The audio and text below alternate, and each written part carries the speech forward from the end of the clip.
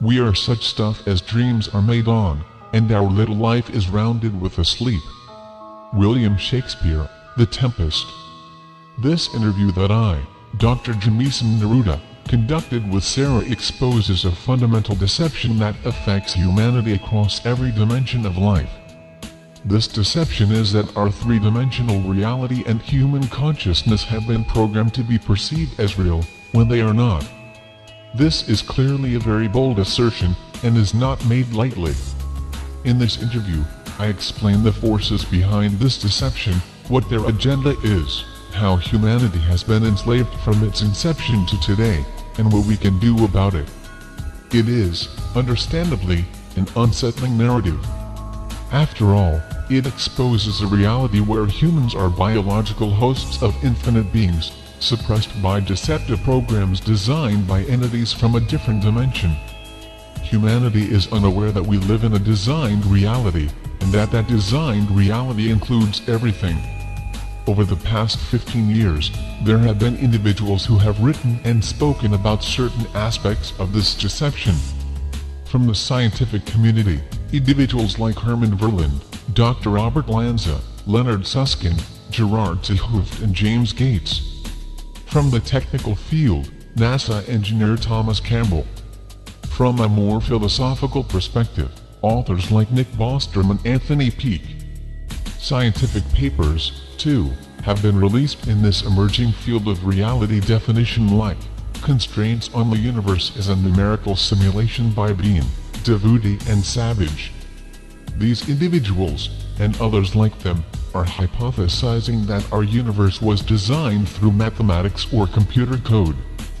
This topic is relatively off limits, reserved for theoretical and heretical thinkers. It shocks people significantly more than the discussions of UFOs or government conspiracies, because it is so fundamental. It is our reality, and the only logical conclusion we can draw is that we are prisoners in a deceptive reality. It makes reality feel like a lab, and we are the unsuspecting lab rats. From the spiritual side, many of our mystics and religious founders have reported that both our perception of the universe and the universe itself is an illusion. This theme is consistent in religious and spiritual writings throughout the ages.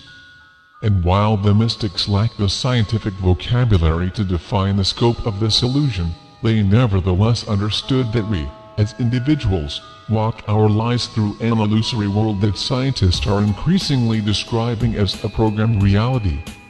The question that rises to the top is, who or what is programming our reality and why? It is to this question that this interview seeks to answer and explain in layperson terms. It is understandable that those with a scientific or religious training will find this disclosure difficult, if not impossible, to believe. I am not trying to convince anyone, I merely present a narrative for how this happened, why it happened, where it is trying to lead humanity, and most importantly, how we can break out of the programming, all of us. This interview is not concentrated on the scientific realm. The science behind the hologram of deception is not based on the mathematics or physics of our spacetime. Its complexity and sophistication is well beyond our current understanding, so the attempt to define it in scientific terms would be an impossible undertaking. Even if it were possible, it would only muddle the real import of this information in arcane vocabulary and mathematics. The true focus of this interview isn't the scientific definition of the hologram of deception, but rather how we can free ourselves from its pervasive and illusory presence. The sovereign integral process is defined in this interview in detail, but you may have to listen carefully to hear and understand it. This process is truly the centerpiece of this interview. Whatever philosophical perspective you wish to attach to this information, bear in mind that it is shared in the spirit of oneness and equality, and that the sovereign integral process is a decidedly experiential practice.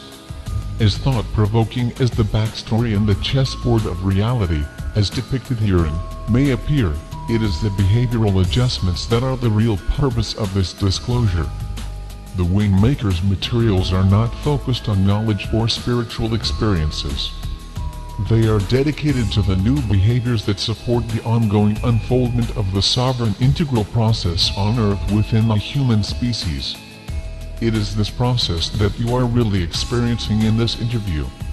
Whether you believe in the existence of the hologram of deception or not, the sovereign integral process remains available as a tool to use in your daily life.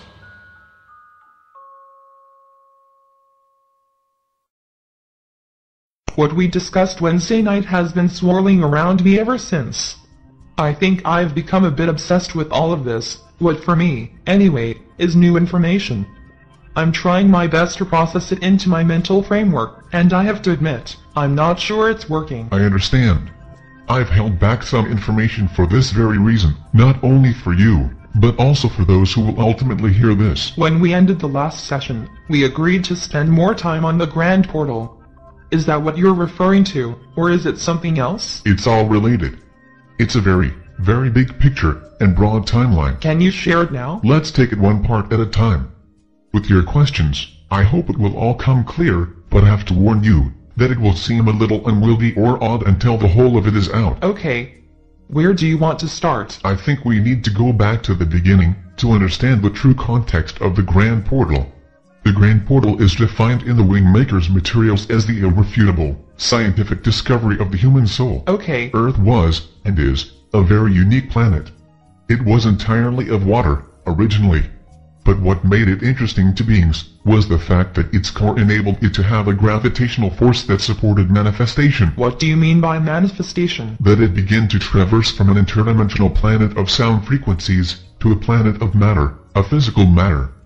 Its gravity-producing core, or nucleus, was able to literally create the conditions that allowed it to materialize itself over eons of time. How do you know this history? There are records of this on the disk that was taken from the 23rd chamber at the ancient Arrow site.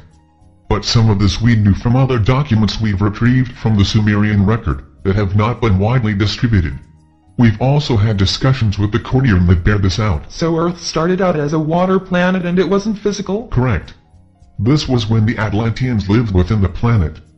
They were the race of beings that inhabited Earth at the time of its formation.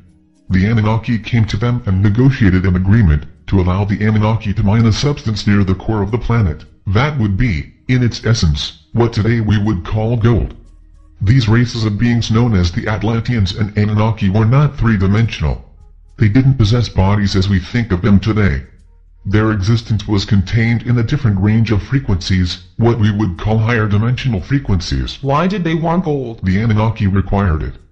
The exact reason is unknown, but it had something to do with the way that gold modulated the frequency of their body.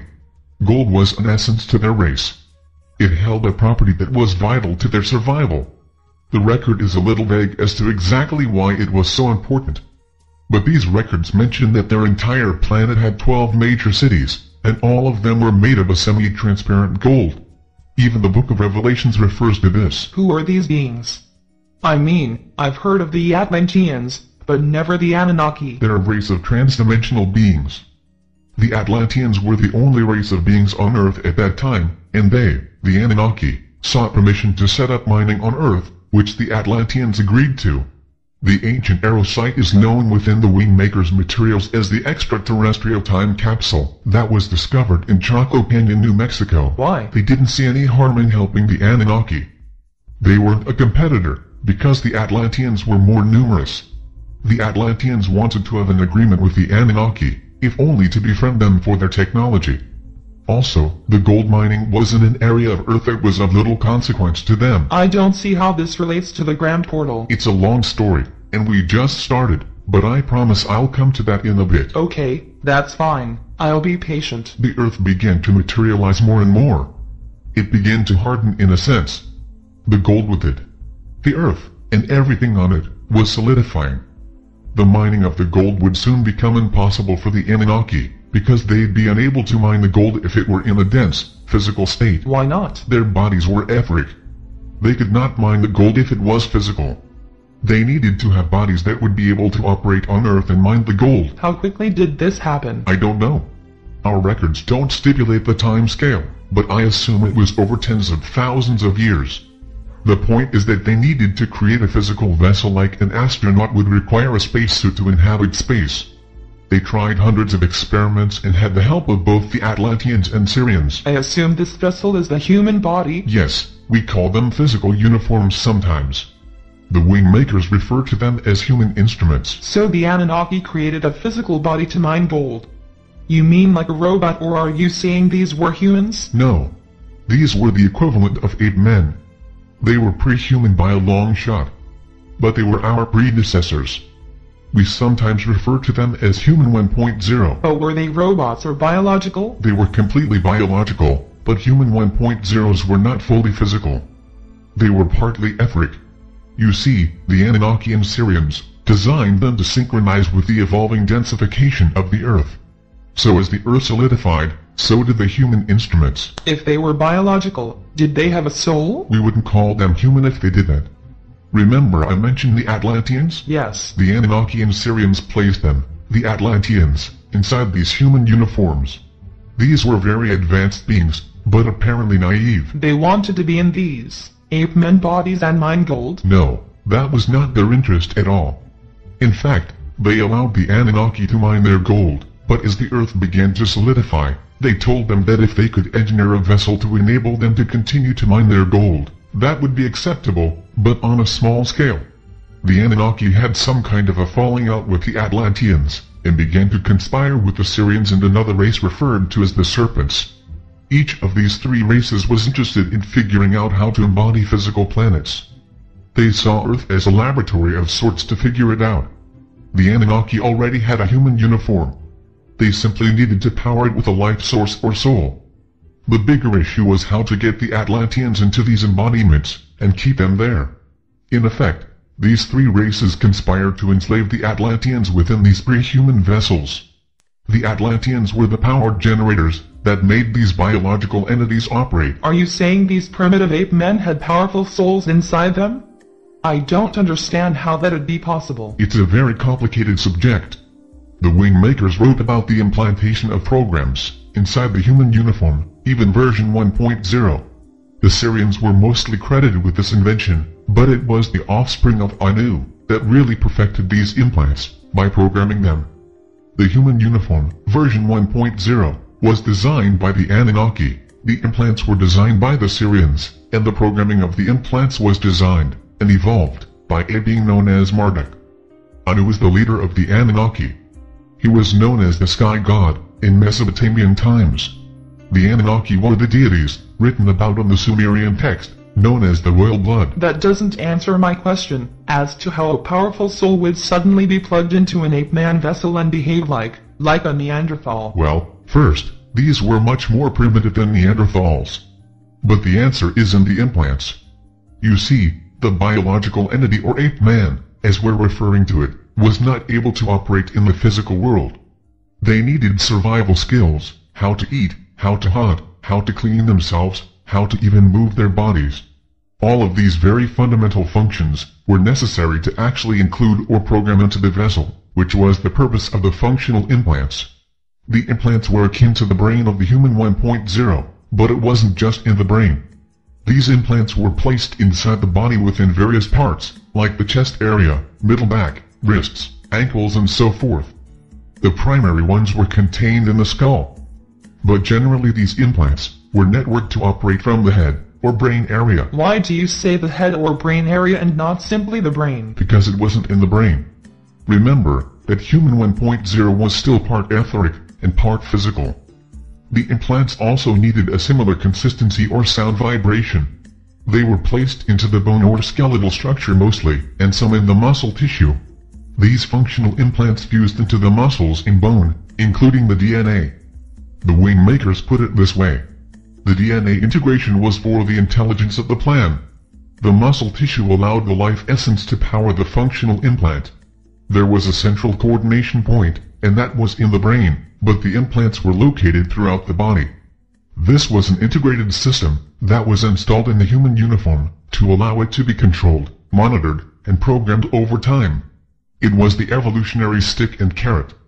Doing it this way, allowed the early humans to dig out gold, which, as I said, was their primary purpose, initially. I'm sorry to sound like a broken record, but I still don't get how such an advanced race as the Atlanteans could power these ape men and become slaves. It doesn't make sense to me. You have to understand that the implanted functionality was partly to make the human 1.0 and its power source, the life essence of an Atlantean, to function efficiently and effectively as miners. That was the prime goal. The second, however, was to suppress the power source, or in this case, the Atlantean beings inside the human vessels. They did this by making the power source ignorant of its origin, and the reality of its true expression, as an infinite being.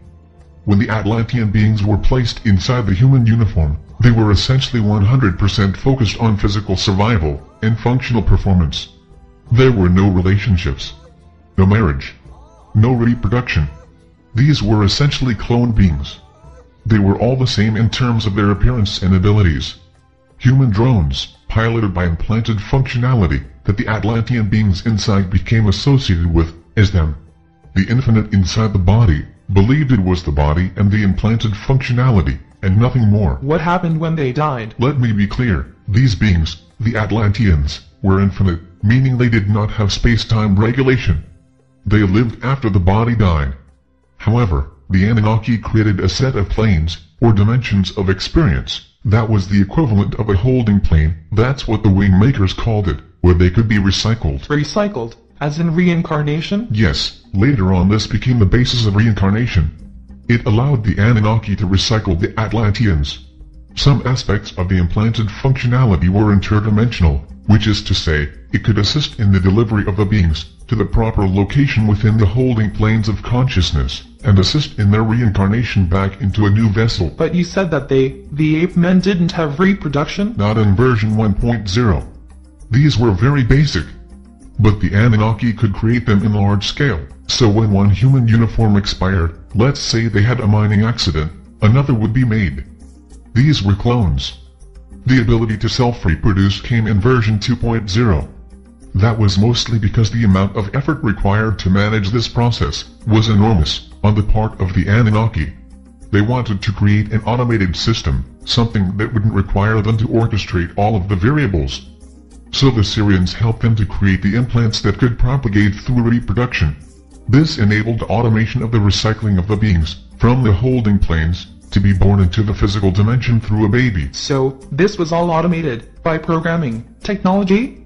I don't know, this is too weird. The universe is made up of dimensions that are a result of mathematical equations. It is constructed from mathematics. Some beings understand how to apply mathematical equations to organize and plan spacetime. It's all created. This world is created, it's not real. It's a programmed reality. When I say plan, it can also be construed as control of spacetime. That is to say, this is a programmed space-time reality. Once you can program space-time reality within a species like humanity, you can program at the individual level of a person right down to when they itch their nose, if you want to. It's all mathematical equations. I don't know what to say. For now, I'll go along with you, but it really sounds like fiction to me. So, what happened to the ape men? I mentioned Marduk. He was intimately involved in the evolution of the species. That was his role. Of all the Anunnaki, he was the closest to the human 1.0s. He understood them and even admired certain aspects of them. Unconsciously, perhaps, he began to alter their programs so the human 1.0s behaved more like the Anunnaki. As they began to take on the characteristics of the Anunnaki, Anu and his sons, Enki and Enlil, were concerned by this. Marduk was programming emotions and feelings. He was evolving humans too quickly, but remember, this was the evolution of the functional implants, the interface between the power source, Atlanteans, and the human physical body. So it was the interface that was being evolved, which enabled the human body to show emotion, to communicate, to sense more of the three-dimensional world called Earth, etc. The other thing that was happening was that as the Earth continued to become more of a three-dimensional solid, so did the human 1.0s and their functionality implants. This growing densification also made it easier to control and suppress the Atlantean power source inside the human uniforms. It was like a compression was taking place in and on this Earth plane, and it was deepening the gravity of focus on Earth plane survival. I wrote down the word serpents. Are you talking about literal serpents? No, serpents as a race of beings. They simply were another race of beings based on reptilian DNA, but distinct from the Anunnaki.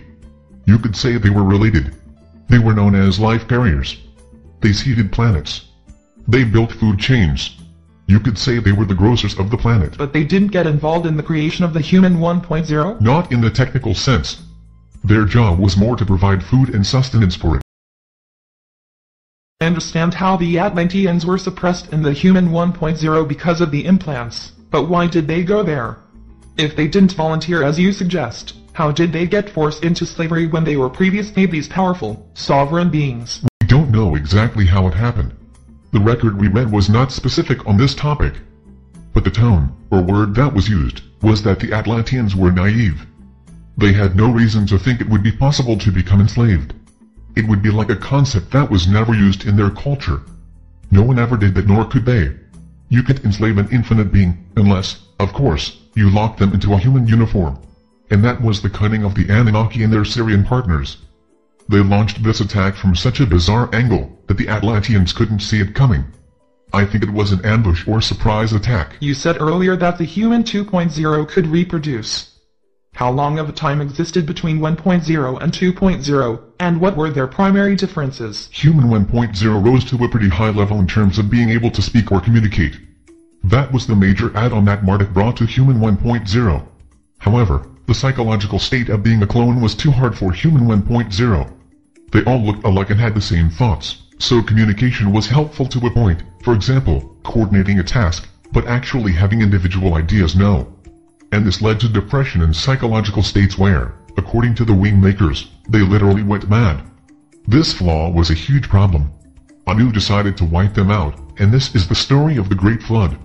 Marduk managed to save some of the human 1.0s from the flood along with other flora and fauna, but it was the end of human 1.0. Human 2.0 was then created. This was the stage where the humans could self-reproduce. And when this happened, some of the Anunnaki impregnated female humans and brought in their bloodlines to the human species. This began the variations.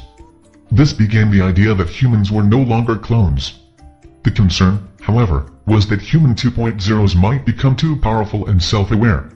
What if the Atlantean power source became aware that it was an infinite being? This was when Anu decided that he should be God. Humans needed to have a lord or ruler over them so it was clear that they were inferior to an external ruler. This was a key part of their program of indoctrination. Working with Marduk and the Sirians, they created the environment of Eden and created the paradigm of Eve as the instigator of the fall of humanity. This was, you might say, Act 1 of Anu as God. It was staged to provide the human 2.0s with a clear sense of an external authority, and that they were expelled from paradise because they tried to be self-realized. It was like rebuking humanity with the fist of an angry creator who wanted his creation to remain identified with their human uniform. Kind of like saying, do not think for a moment that you can be like me. And the Wingmakers wrote that this actually happened kind of like the Bible said? Yes. So the God of the Bible is this Anunnaki Lord, called Anu? Yes. Why are you telling me this all now?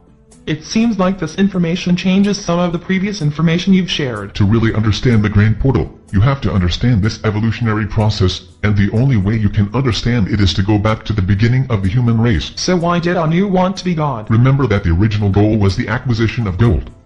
But when the Atlanteans rejected Anu, he began to conspire with the Sirians. It was just before the flood that Anu discovered that the gold he'd mined was sufficient. He didn't require more. However, the notion of being a god over the Atlanteans was seductive. The Sirians and Serpents felt that the idea of enslaving infinite beings and planet ecosystems was their invention. They had something that was totally unique. They were creator gods, and every other race could be ensnared in a similar type of vessel. They began to do just that. You mean enslave other races? Yes. You see the Earth had a unique quality to its core. This core was of extreme interest to the Anunnaki when they first visited Earth. It was this core that created the gravitational field that enabled the planet to become fully physical in such a way that it could support physical life. Of course other conditions needed to be present, too, but it was this core that was the real key. Working with the Sirians and Serpents, they began to do the same enslavement on other planets. They replicated the core of Earth and engineered a method for implanting this core on other planets. They were essentially terraforming a planet by cloning and installing Earth's core. So I guess the real question is, if you believe this, what are humans today? Are we simply more of the same? Are we human 2.0? When I said the human uniform evolves, it does, but this evolution is on a track, a pre-programmed track. The intent was to have Anu return on a cloud, the whole second coming was going to be the stage entrance for Anu. Humanity would evolve in such a way that his re-entry into our consciousness would be understood to be a good thing. Humanity's salvation. We would all be his children, and the glory of God would be upon the earth. That was the plan. From before the time of Jesus, that was the plan. Marduk programmed the entire. How long can these beings live? Again, the beings like Marduk or Enki or Anu are not based in space-time. They are infinite beings, meaning they have no end. They don't have an age. Neither do we. I'm trying to wrap my mind around all of this, but I'm finding it very hard to believe that human beings are simply uniforms for a programmed existence. Let me go back to your previous question about what humanity is now. The functional implants of the human interface are perfectly integrated within the human vessel. They operate seamlessly. So seamlessly, we do not know that they are not us. We have no choice in the way. We think our thoughts and emotions are us, that this space-time is what our thoughts and emotions exist in. Even the thought of the God, heaven, hell, soul, masters, all of these things, they're part of the program. It is integrated in both the dimension of the earth plane and the afterlife. The afterlife is part of the deception. Tell me more about this interface and its functional implants. The Iron Brain was the key element that the Anunnaki needed to design to make the functional implants operate. This is in Human 1.0. In Human 2.0 it was the DNA. Once this was achieved, the Sirians could design the consciousness framework, the human consciousness. Human consciousness is the key to suppressing an infinite being. Human consciousness, or the triad of consciousness, is composed of three interactive layers. The first layer is universal mind or unconscious, and this forms the link between the individual human and the entire species. This layer is what enables all of us to see what everyone sees, feel what everyone else feels, know what everyone else knows. It is the perfect way to unify a species in separation. In fact, that is the way we feel unification, through the unconscious mind. The next layer of consciousness is the genetic mind, as the wing makers refer to it, or subconscious, in the case of Sigmund Freud. This forms the link between the individual and their family tree or genetics. This is where bloodlines are expressed. And then there is the conscious mind. This is the unique individual perception and expression, what most of us call our personality and character, which is built on this layer. The conscious mind of the individual is heavily influenced by the genetic mind, especially between birth and the age of 7 or 8. By that time the influence is all-encompassing. Remember that the Anunnaki created the biological form, the body, the Sirians created the functional implants, and Marduk executed the programming of these functional implants so they would evolve along a program path, leading to the return of Anu. This was expressed in the hierarchical structure of humanity that speaks of God and masters in religious and esoteric texts. This was all part of the design, to create various religions and esoteric cults that would support a vast hierarchy and order the human species into master-student relationships, and then create a multi-leveled afterlife that would reward those who believed and were obedient to their god or masters. You see, the whole principle that was behind this entire endeavor could be summed up in one word, separation. Everything exists in separation, within the earth plane and its afterlife planes as well. But, according to the wing makers, what is real is that we are all imbued with equality and oneness, not through the unconscious mind, which only links us in separation, but rather through the life essence that is us. And this life essence is sovereign and integral. It is I am we are. No one is above, no one is below. No one is better, no one is lesser. But you're saying everything is a lie? Everything I mean everything we've been taught to believe in is a deception. How is that possible, or, or even believable? It's possible because the beings that have enslaved humanity designed a world, to which we adjusted over eons of time. We evolved into it in such a manner that we became lost in our world. The veils that have been placed over us are opaque. So much so that people operate as human uniforms unaware that everything around them is illusory. It is a programmed reality that is not real. The wing makers say everything is simply sound holographically organized to look real. It's depressing. Only when you consider the scope of the deception and the way in which humanity has allowed it to rule their behaviors.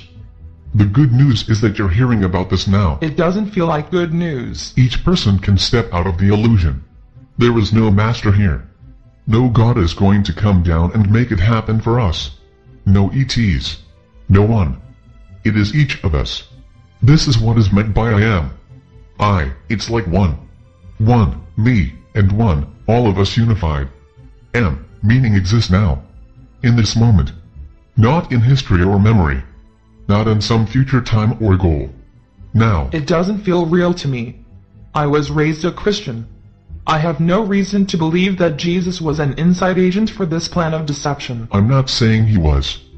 Many of those who have come to Earth as human teachers have tried to reveal how deep and broad and high this illusion has been made. It is as far as the edge of the universe and as close as your DNA. Everywhere in between is illusion. Jesus came to reveal much of this, but the writers of the Bible decided what would be acceptable within the paradigm of life as we humanly know it. They elected to make Jesus a part of a deception. They saw it was time for a redefinition of God to accommodate an evolving human 2.0. God was suddenly a loving father, and all of humanity was brother and sister. So you're saying Jesus was aware of this deception, but his words weren't included in the Bible? Our opinion was that his words were so against the conditioned beliefs that people could not understand them as he said them. And so, over time, they were translated into the form you know them today. The biblical translations simply lack the original potency with which he said them. Besides, there are two methods that can make exposing this illusion a very difficult proposition. What do you mean? The first is that the unconscious mind system is inside everyone. It's like a field of information that everyone can access. It can affect or infect everyone. A revelatory idea can be passed to a small number of people, but it lacks sufficient influence to generate mass awakening. So there's unconscious mind inertia.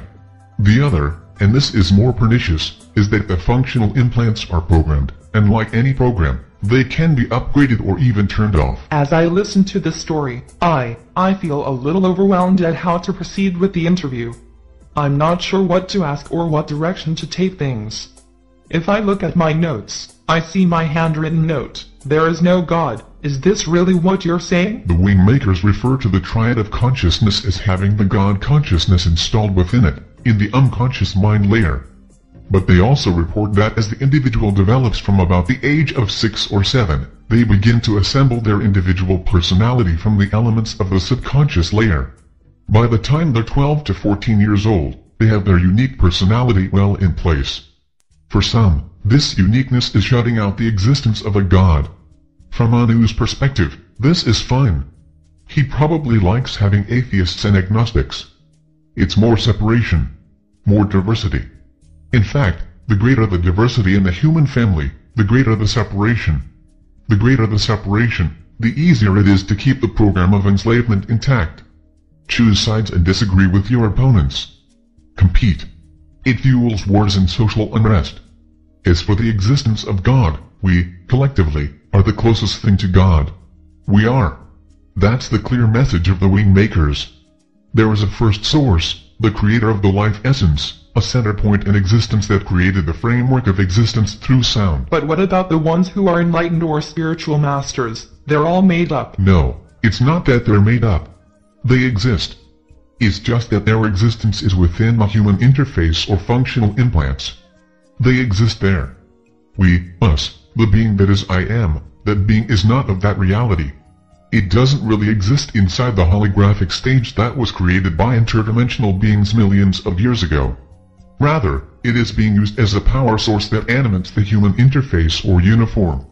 Over time, we've spiraled deeper and deeper inside of this created world, complete with its afterlife and different planes of existence. You could look at it this way, Anu installed a program inside the Human 2.0 and in this program, humans would evolve from knowing absolutely nothing about their world, to knowing God. Humans were designed to have God consciousness, meaning, to have the same understanding and awareness as Anu. But then Anu took this evolutionary line and positioned God consciousness so far out into the future that humans would essentially be chasing this God consciousness forever. They'd be chasing shadows, because until they awaken from the deception, the only God that exists in that world is Anu. Once awakened as I am, we are, or the sovereign integral, a human being lives as an expression of this consciousness. According to the wing makers, no one has achieved this at this time. It is, however, our future to live in this consciousness in a human instrument. No one has done this. You mean anywhere? On this plane, Earth, no one has done this. But remember, the wing makers are human in a future time. They have returned to our time to crack the shell open a bit. They have traveled to our time to remind us of what they discovered. They left this enslavement, so we will do it. But you already said that space-time is an illusion. That's true. It is, but it's hard to imagine that the universe in which we exist is really a hologram projection that was programmed inside our unconscious mind, and we're really inside this hologram, wearing a human uniform that was outfitted to perceive only this hologram. The wing makers say that the real world is sound.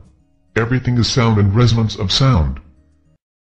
Everything we have in our human uniform for sensing our universe is millions of years of evolutionary design to tune into that hologram and only that hologram. How does that hologram extend beyond this physical world then? You said even the afterlife is part of it. There are many aspects to the afterlife. There is God, first and foremost. There is the light of illumination. There is the universal spirit and individual soul. There is a hierarchy of angels and masters. There is the concept of karma and reincarnation, or sin and salvation. The concept of heaven and hell. The concept of the chosen. The concept of an ascension path. The concept of the Book of Records or Akashic Records. All of these concepts were designed into an upgrade of the Human 2.0 interface. Certain human beings are programmed to find these concepts in their unconscious mind layer and share them. As a result, religions sprout. Philosophies rise sometimes in support of the religions, sometimes in contradiction. Esoteric cults rise. All the while the human being remains lost. It remains muddled in its illusion. Everything tied to an empty promise and a belief, and in all those beliefs, one thing remains constant, separation.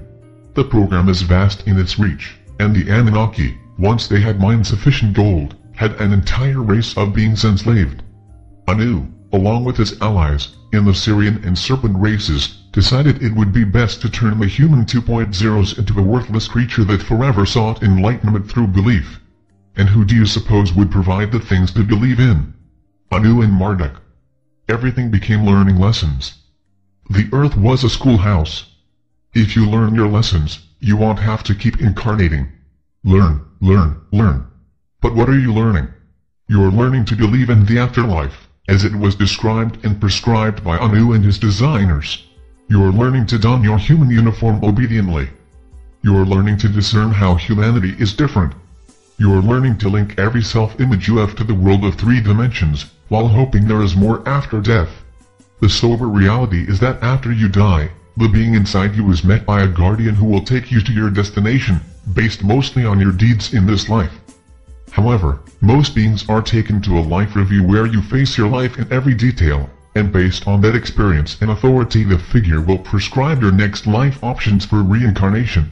You are essentially recycled into the same program with a new mother and family, and a programmed life path is laid out for you to follow.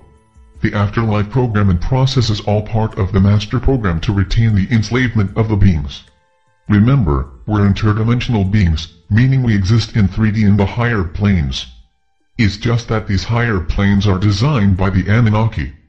They are not of the real dimensional planes. Otherwise, we would die, discover who we really are, and we would never reincarnate, or if we did, we would tell everyone on Earth that this is all an illusion. Why? Why do it this way? It doesn't make sense. What began as an experiment, in three-dimensional exploration, from a higher dimensional reality, became what is here. Every human being will confront this reality eventually. It cannot be avoided. We can agonize about the lack of fairness or ask why, but whether it makes sense to you doesn't change the fact that we live in a world of design separation. Divide and conquer. The wing makers write of the tone vibration of equality. One second, I have the papers. Here's the exact choice of words by the wing makers. When all manifestations of life are genuinely perceived as fragmentary expressions of first source, the vibration of equality that underlies all life forms becomes perceptible to the human instrument. Life initially emerges as an extension of source reality, and then, as an individuated energy frequency, invested within a form. It vibrates, in its pure, timeless state, precisely the same for all manifestations of life. This is the common ground that all life shares. This is the tone vibration of equality that can be observed within all life forms, that unifies all expressions of diversity, to the foundation of existence known as First Source. It's so abstract. How does it help? Maybe it doesn't. I don't know. But the thing is, to change, to step out of this illusion, it requires each of us to wake up and stay awake. It's not reading words that will change this. It's the profound nature of new behaviors, because these behaviors signal that our consciousness layers are understood as separate from who we really are. We have to operate as I am, we are. Where does the Incunabula or Illuminati belong in this narrative? In the triad of power, the Incunabula is the capstone, also known as the capstone of the elite. I'll answer that later. I want to continue the story a little further. Okay, Human 2.0s and Earth continue to densify. We become increasingly three-dimensional. We are actually denser now than we have ever been, in terms of physicality. There was a time, about 40 years ago, when we thought alien races were actually leaving spaceships behind on purpose, but what we discovered, more recently, is that most of the aliens were not physical beings. They were observing Earth, and their spaceships actually became entrained by the gravitational circuits of the Earth's core, which caused their spaceships to materialize in three-dimensional space. Because many of the materials used in the ship's construction had chemical properties, they were prone to densification when exposed to Earth's atmosphere. you mentioned the Earth's core as being the cause of all of this. What's so special about it? The magnetic fields associated with Earth's core are unique. They are, in the words of the wing makers, alive. We can only assume that alive is an aspect of intelligence. The point in this, however, is that everything's densifying. It is compressing. It is compressing for a reason. The old systems can fall in unison when density reaches a certain critical mass. And that is what will happen. When? All I can say is that it is soon. I don't want dates and times associated with it. But do you know? We know a range. More than 10 years? Yes. More than 20 years? All I will say is that the Wingmaker's term for this is SIN, or the Sovereign Integral Network. SIN is the definition of the new system. They said it can come in an instant once the right conditions are in place. What is unclear is how SIN develops after the Grand Portal in Human 3.0. That's the first time you've mentioned Human 3.0. What is it? If human beings are trapped in a prison of illusion, as human 2.0s, and their interface to the holographic universe is the reason for their being trapped, then a new model needs to step forward. Human 3.0 is this new model. It is the formula of self-realization. It is stepping out of the constructed universe or reality, and living as a self-expression of I am, we are. Human 3.0 is the sovereign integral. I call it Human 3.0 SI. You see, the Grand Portal is a way to synchronize humanity to a new inception point where it is living in the expression of oneness and equality, sovereign and integral, I am and we are. It is a way for humanity to move from separation, which was its previous inception point, the one that generated Human 1.0 and 2.0. Human 3.0 SI will have a new inception point, and the reason for the Grand Portal was to enable synchronization, because how can you have a network of equality and oneness if the beings were not synchronized? What is soul, then? Soul is an idea or paradigm that has become part of the human reality program. Soul is the part of you that contains all memory of your existence as a human 1.0 and 2.0. For most of us, this is a vast repository, far too large for the consciousness framework to deal with. So the soul holds this information for each individual being.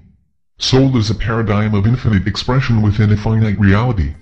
But you can't be infinite in a finite reality, if that reality is a programmed reality. So soul is not the life force that powers the human consciousness.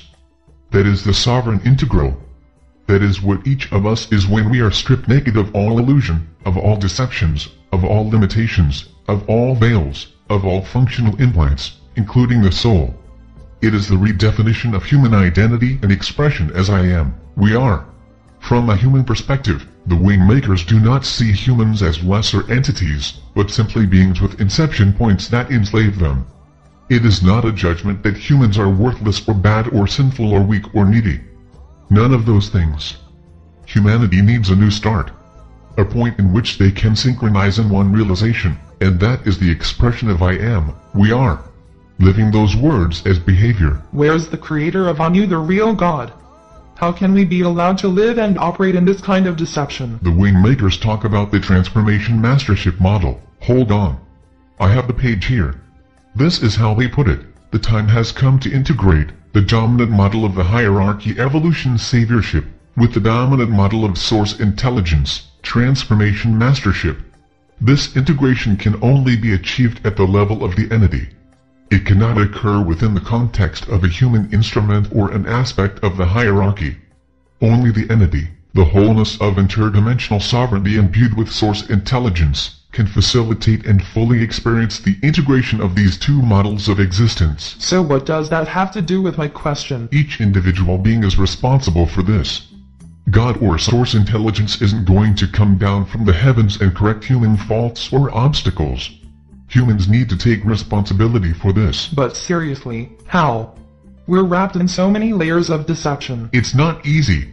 The wing makers write about the hard virtues as the behavioral construct for this time, and how these words can be applied and lived, not simply held in the head as a worthy concept. I don't think you've mentioned these before. What are they? Appreciation or gratitude, compassion, humility, forgiveness, understanding and valor or courage. It is the combination of nowness, being in the now, and applying these words in our behaviors. It's being impeccable in this practice. What happens if you do? The unconscious mind is a doorway into all beings. These behaviors go out to all beings. They support the building of the sovereign integral network, Human 3.0, which is the replacement of separation consciousness of Human 2.0. So this is the application of insertive behavior, which is to say, I will insert these behaviors in my nowness. They will become the palette of my behavioral choice. The other half of this equation is the resistive behaviors, and these are withdrawing and stopping behaviors that support separation and deception. These are active resistances. Saying no to behaviors of your own and others, without judgment. Again, whether you operate in the insertive or resistive behavioral mode, you are affecting the whole. You either support oneness and equality, the I am, we are, or you support separation and deception, also known in our reality as the status quo. The starting point of behavior or expression is in the now. This is the creative nerve center. Every single now is a potential to support oneness and equality in this world, and help birth the human 3.0 and the sovereign integral network. How long? I mean, how long will this take? The Grand Portal enables the sovereign integral network. The wing makers suggest that around 2080, conditions should be ideal for this human 3.0 to reveal itself. But they also stipulate that it could happen sooner or later. Why wouldn't Anu, since he's God, simply stop it? Or, if Marduk could program with such amazing accuracy, how could Human 3.0 even come about? Unless he wanted it. There have been several interventions. While Anu and his Sirian cohorts were focused on the Human 1.0 and 2.0 uniforms, they didn't pay as much attention to the interaction of Earth and the human vessel. Earth is an anomaly in itself. Remember that the Earth's gravitational fields interact with all life. Even non-physical beings, if they get close enough, and stay long enough, can be materialized in this plane of existence. Anu did not want to be materialized in this dimension, and he could only appear on this plane of existence for short times, maybe a day or two. In this time, our time, right now, the Anunnaki cannot enter this plane. They're locked out. The Earth plane is too dense. So that is one reason. Anu's ability to interact directly with his creation has been curtailed. The second intervention point is that non-physical beings have woken up to this issue of enslavement. They see how it affects everyone. It was permitted in part because the Anunnaki and their alliance partners were strong and threatening to many other races and beings. However, this notion of enslaving infinite beings, as a concept or inception point, was infecting all of existence. It was a fear-based, separation-based idea that beings eventually began to see as a degenerative force to existence. The native state of existence, which includes space-time and non-space-time expressions, is oneness and equality. Obviously, enslavement is only possible in a separation-based paradigm. The third intervention point is the wing makers. They were the part of humanity also known as the Atlanteans, but even before the Atlantean race, they existed in a pure state genetic template, and eventually these genetics were used by Anu to create, in part, the Human 1.0 and Human 2.0. although with the 2.0 version, it was less pure, because Anunnaki and Sirian genetics were introduced, among others. But the point I'm trying to make here is that the wing makers, as a future expression of human 3.0, have entered our space-time and have begun to crack open this prison reality. The fourth intervention point is each of us, practicing the sovereign integral process. I presume the Incunabula and Illuminati have something to say about this whole Human 3.0 plan. Am I right on that? Yes.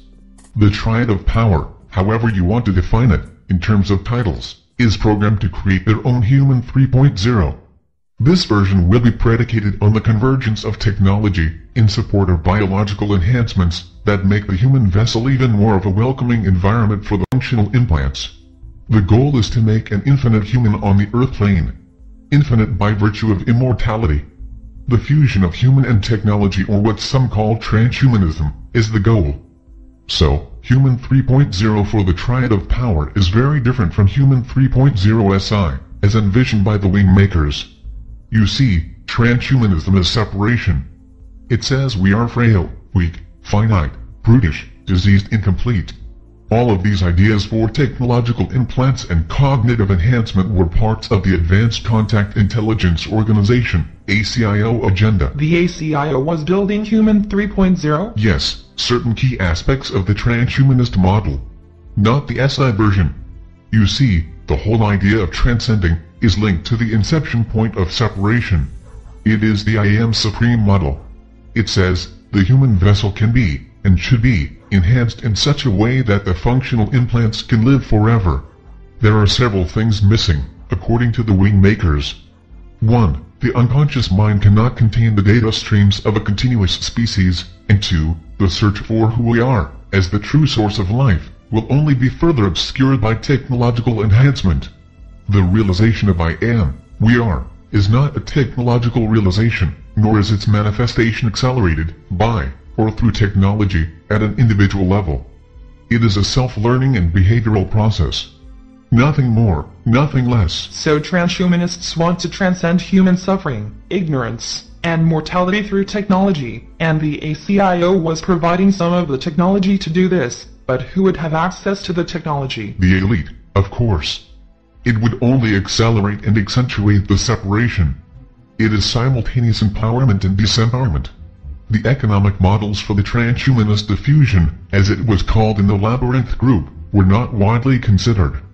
The Incunabula being the only exception. You mean they actually wanted to build a plan that made the transcending technologies available to everyone? They looked at it from two angles. One, if the technology could be introduced at birth, it would mitigate the cost issues of healthcare and education, offsetting diffusion costs.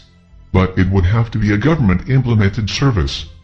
No private company could secure sufficient trust. So a critical component was to make the United Nations, the credible world organization that could introduce transhumanism to the global stage.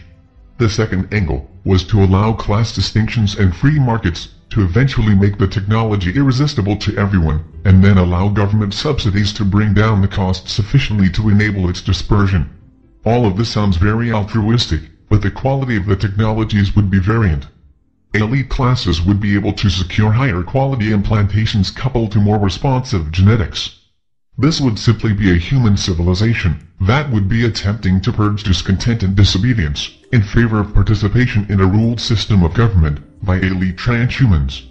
Technology will evolve from external impersonal to external personal to integrated personal to internal personal. Transhumanism is the last phase, and it is the phase that the elite are moving to. The internal personal is based on exactly the same paradigm of what is now the human condition, namely, humans have a programmed interface that's integral to their human body, and is powered by the infinite source of which they truly are. Humans are unwittingly trying to be Anu to themselves. It's part of the program, according to the wing makers. Humanity will play God to itself. It will try to engineer a better human and a better civilization. It will do this because it can imagine how humanity can save itself through simple behaviors, and the realization that these behaviors can make. They will do it because they are programmed to become integrated with technology. This is the path that the wing makers seek to avert. They write that human beings are complete if they can step out of their consciousness frameworks and realize what is actually powering their systems. They're artificial realities, their programmed existence. The integration of technology internally will only make this realization more difficult. I think you said on Saturday that there were prophecies of a synthetic race overtaking humanity. This sounds like what those prophets saw. 15 felt the same way. 15 is the genius leader of the Advanced Contact Intelligence Organization ACIO in the Labyrinth Group. He never assumed that they were off-planet aliens. These prophets could have seen human 3.0 transhumanists in some distant timeline and assumed they were alien. What about the military force? As you can imagine, this is where it will be tested first. There is a whole field of psychological technology that has laid the groundwork for the real internal technologies to flow into the military. It will be released there initially, so it can be properly defended for testing purposes. Once it's proven there, it will converge with the integrated personal technology programs of the corporate elite. When you say integrated personal, what do you mean exactly? Miniaturization of the technology will enable it to adorn the body. It will not be internal yet, but it is part of the human body, like clothing, glasses, watches, and jewelry. Bear with me, but let me see if I have this straight. Human 1.0 was a creation of a godlike being. No. Anu is the same as us, or the Atlanteans. He was no more intelligent or godlike. He was deceptive. That is the only distinction. Okay, but Anu created Human 1.0, and then found them to be too similar to his own capabilities, and feared they would one day figure out that they were Atlanteans, enslaved by the Anunnaki. And he was worried about the consequences of that discovery. So, he wiped them clean with a planetary flood. According to the Wingmakers, the flood was one part of the extinction program, but there were also nuclear weapons that were discharged on the planet, most of which have been explained away as meteorite impacts. But the Wingmakers write that these were advanced weapons used against human populations that had avoided the flood. Okay. In whatever way Human 1.0s were eliminated from the planet, they were replaced by Human 2.0, and these included upgrades like self-reproduction and more advanced programming and central to this programming was the notion that Anu was God, and would return to his creation. Correct? Yes. And the next upgrade to Human 2.0 branches out like a fork in the road. One version of Human 3.0 goes down the path of technology integration, or transhumanism.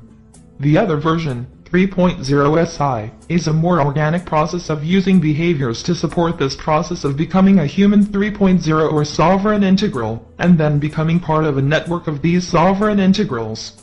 Is that correct? You have the general idea, yes. And the Triad of Power wants Human 3.0 to go down the path of technology integration, because that is how they are programmed, to emulate their god, Anu.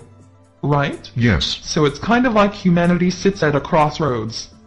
On the one side is the triad of power, that is programmed to develop human 3.0 as a, a cyborg, I guess, and the other side is the future existence of humanity urging us to do it internally, one person at a time, through a behavioral process.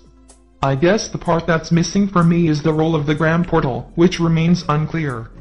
I thought it was a technology that proved the existence, the irrefutable scientific existence of the human soul. How does that figure into this? There are humans here who are designers of the new unconscious mind that will bridge human populations everywhere on the planet to feel and express equality and oneness. It will connect humanity and the I am, we are, consciousness, instead of the separation consciousness. It will not be based on hierarchy. The deception is coming down. One of the things that was never disclosed in the materials, including my previous four interviews, is that certain information was to be withheld. Some information was even veiled to not raise the ire of the Triad of Power. This information, this interview, will not be disclosed in the same timeline as the previous four. Why? The designers of the new unconscious layer of the Human 3.0 are on the planet now. They are doing some of the preparation required to move humanity, who will be sitting at the fork in the road, in the next 40-50 years, to choose the I am, we are, path. So I can't release this interview? No. When it's time, I will contact you. You said some of the information was veiled. In what way? The wing makers will only release some of the information now, in 1998. That is the information that will not feel too revolutionary, too radical. It needed, in their own words, to cross into the human interface and activate a willingness to listen to their voice.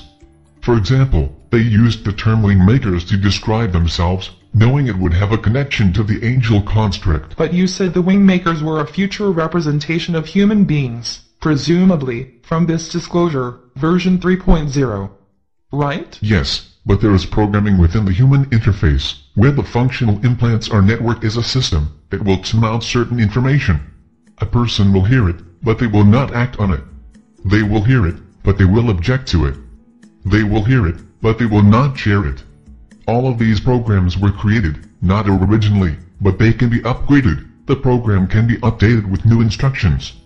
It makes cracking into this reality, exposing it for what it truly is, a very difficult proposition. This is why it requires a degree of stealth.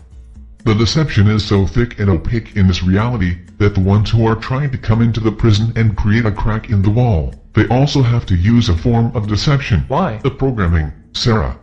If the pure state information was given out, and it contradicted everything that people have been told to believe, if it was the literal reverse of what was logical and acceptable in this world, who would listen? The wing makers needed to awaken certain people to bring them inside their information field, to warm them up to the truth. It has to be done in degrees for the vast majority of people. What about me? You are not among the vast majority, but then you're only getting a taste of it. Does everyone within the labyrinth group know this, too? Yes, to varying degrees. But they were going down the transhumanism path. Did this information change their mind? No. That's really why I'm here. You just said I'm only getting a taste of it, so there's still more materials that will be released later? Yes, But you're not going to tell me when, right? correct. As intelligent and aware as the labyrinth group is, why didn't this information change their minds? I had the benefit of having direct interactions with the wing makers. None of my peers did. This was the difference in my willingness to act on the information and not simply consider it as a contradiction to my invested reality. This is fucked up, isn't it? What part? All of it. It's all fucked up and we did it. Whatever it is, it's important to know what's behind the deception, to look with sober eyes on the truth. It may not be a beautiful picture to be sure, but how else do you realize your own truth, until you know the truth of the big picture?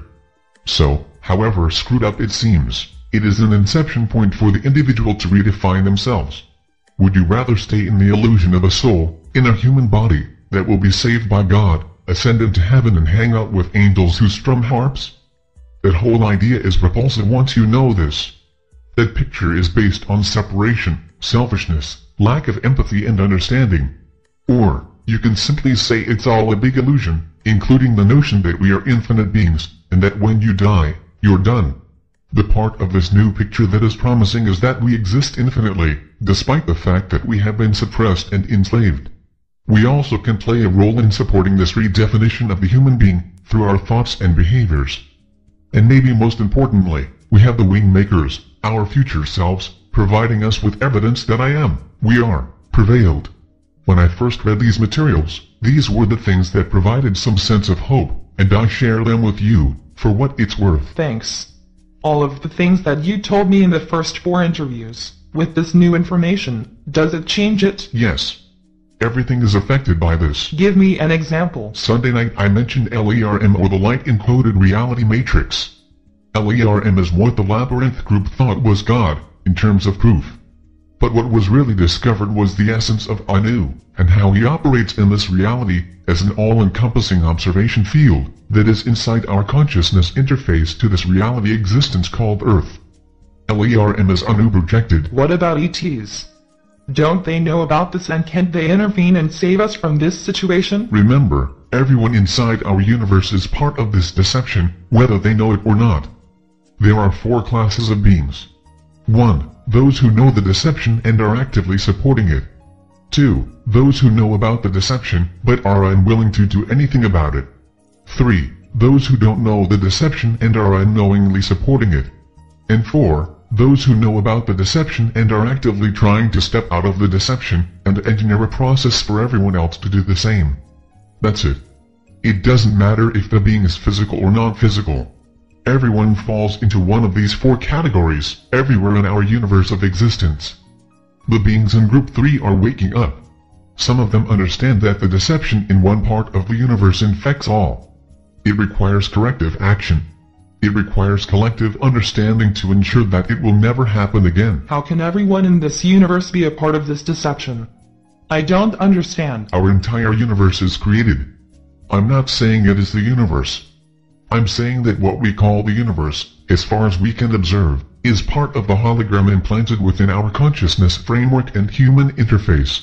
Our mind consciousness established the spatial temporal relationships of everything we see, and as I said, this is part of our program. And this includes the universe. Why do you think that our best minds on the planet cannot define consciousness, let alone the subconscious and unconscious mind? It is programmed this way. Anu did not want us to figure it out. We'll look at neural information and decide it can be sliced a thousand different ways, but it still doesn't explain how it's experienced. As Aristotle said some 2,300 years ago, to be conscious that we are perceiving, is to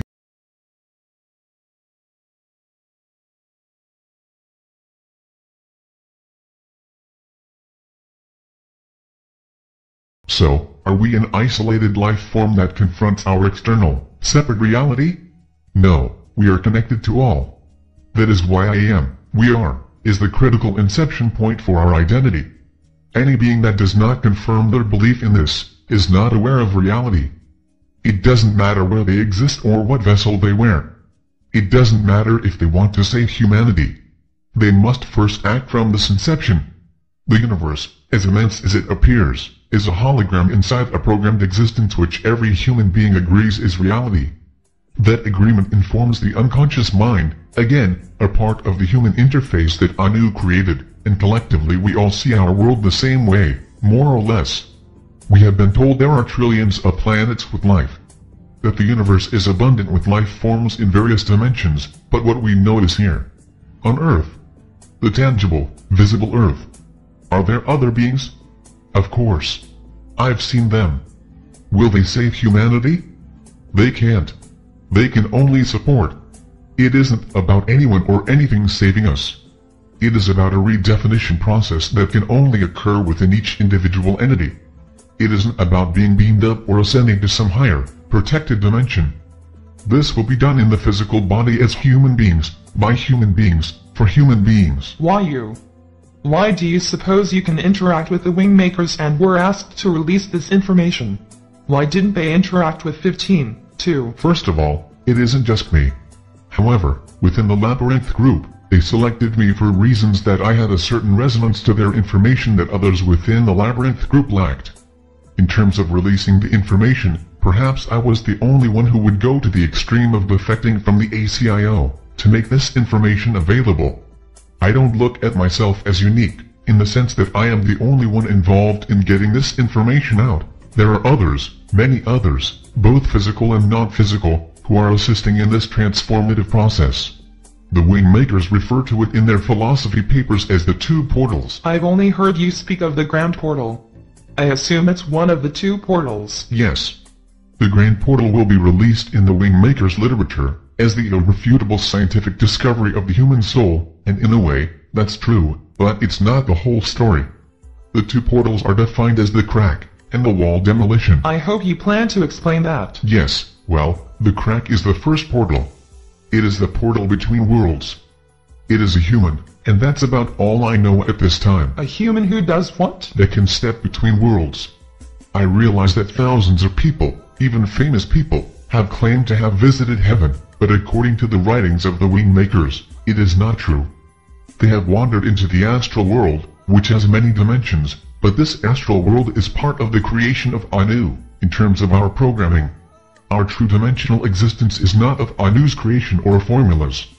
The human portal will be a communication portal between our origins, as a race of infinite beings, and this world, the hologram of deception. What about the wall demolition, as you called it? The grand portal is the wall demolition. That's when the wall comes down, through the efforts of all beings that are undergoing the sovereign integral process.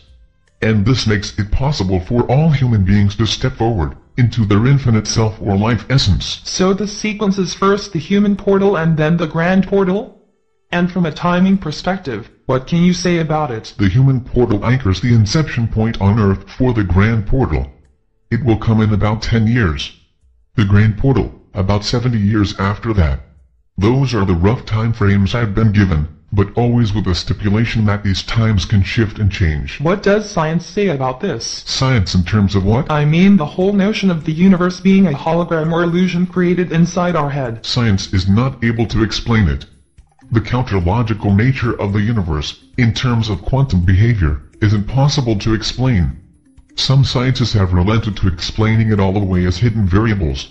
But frankly, what the wing makers have explained is that we're creating the universe through the human interface Anu provided us, by reinterpreting sound vibrations through our five senses. But it doesn't make sense. How can I see the moon, and a two-year-old can see it exactly the same way?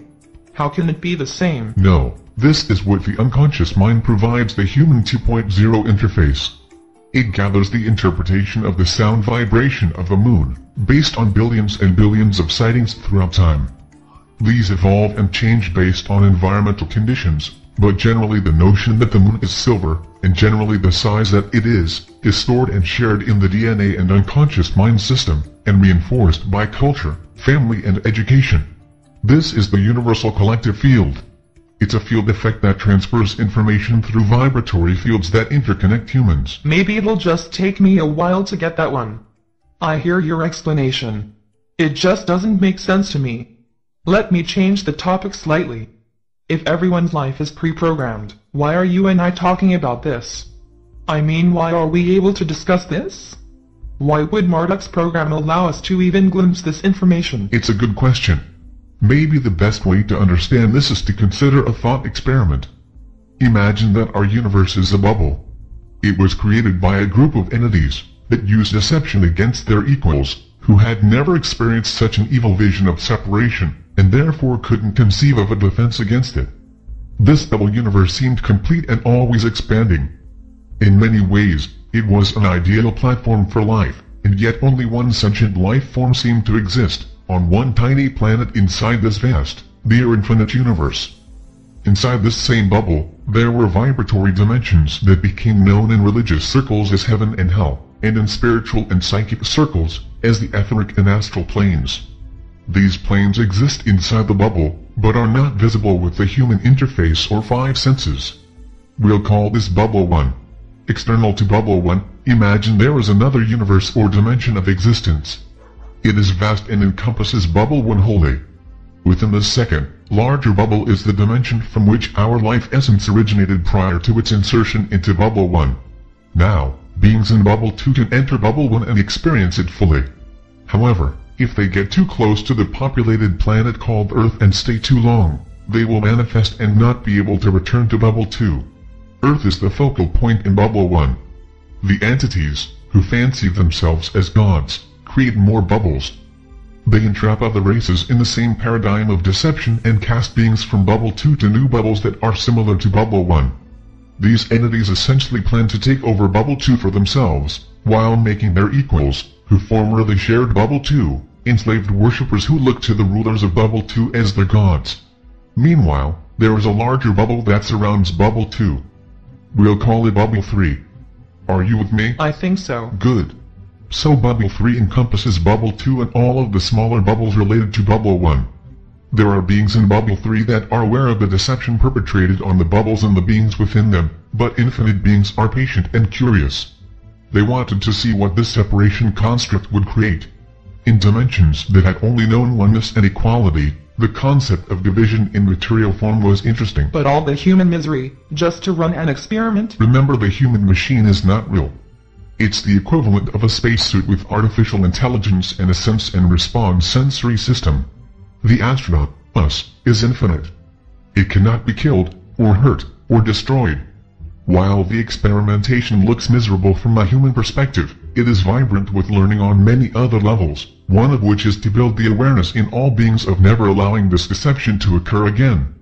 The unconscious mind system of the human being exists in a similar, but significantly more advanced modus operandi, in the interdimensional beings that can interoperate between the three bubbles.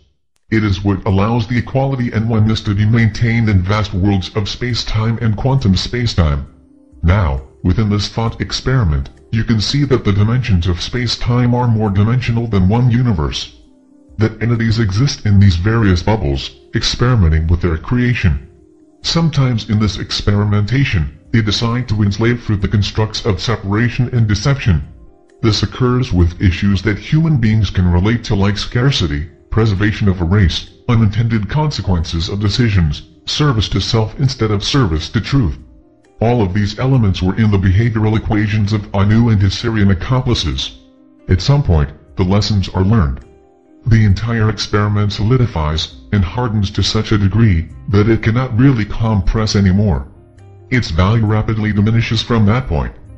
When this happens, beings will intervene. In our case, we intervened in the form of humanity returning to warn of this reality, hence the Wingmaker's intervention. As for why we are talking, it's simple. Marduk is not the only one who can program. And what does that mean? In today's world we have programmers who can write code that take the user of that code from one experience to the next. It moves them from point A to point B. Programming is an aspect of time. It's a directional process. You're aware of hackers. They come in all sizes. Earlier this year a 15-year-old kid hacked into the US Air Force. Even Microsoft is finding it impossible to protect its NT operating system. The hacker mindset is again a manifestation of separation. It is a polarity.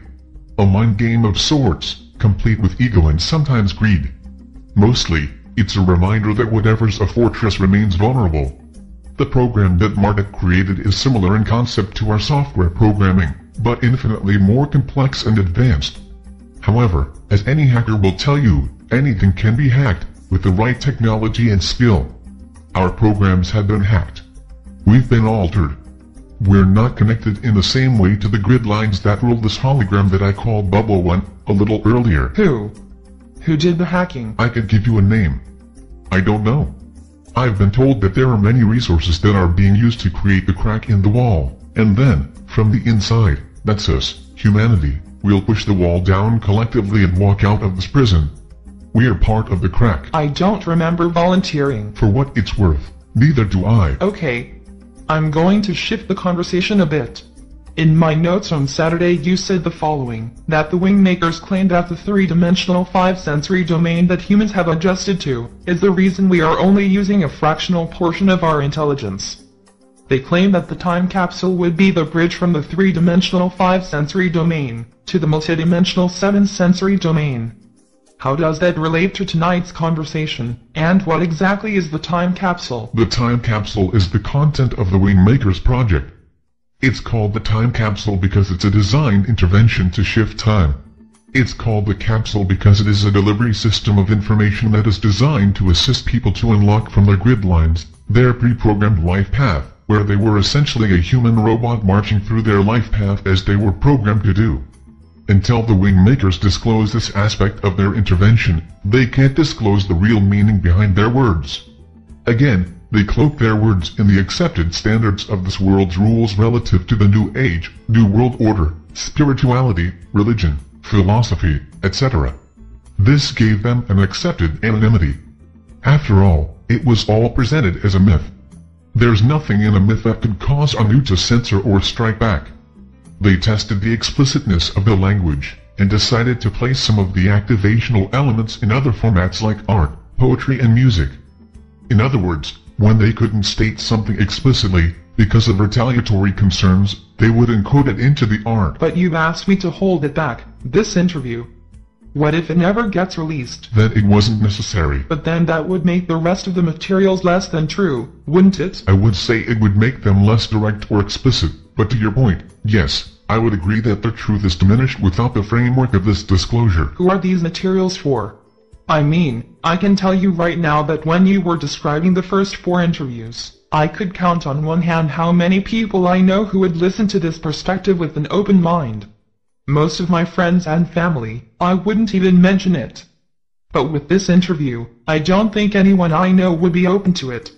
I can't think of one, to be honest. I understand. The number of people who show up to look through the crack in the wall will be very small. In terms of the whole population, a tiny fraction. But the real definition of the grand portal is that enough people will look through that crack and recognize there is more, much more to reality's existence, and they will work collectively to push down the wall.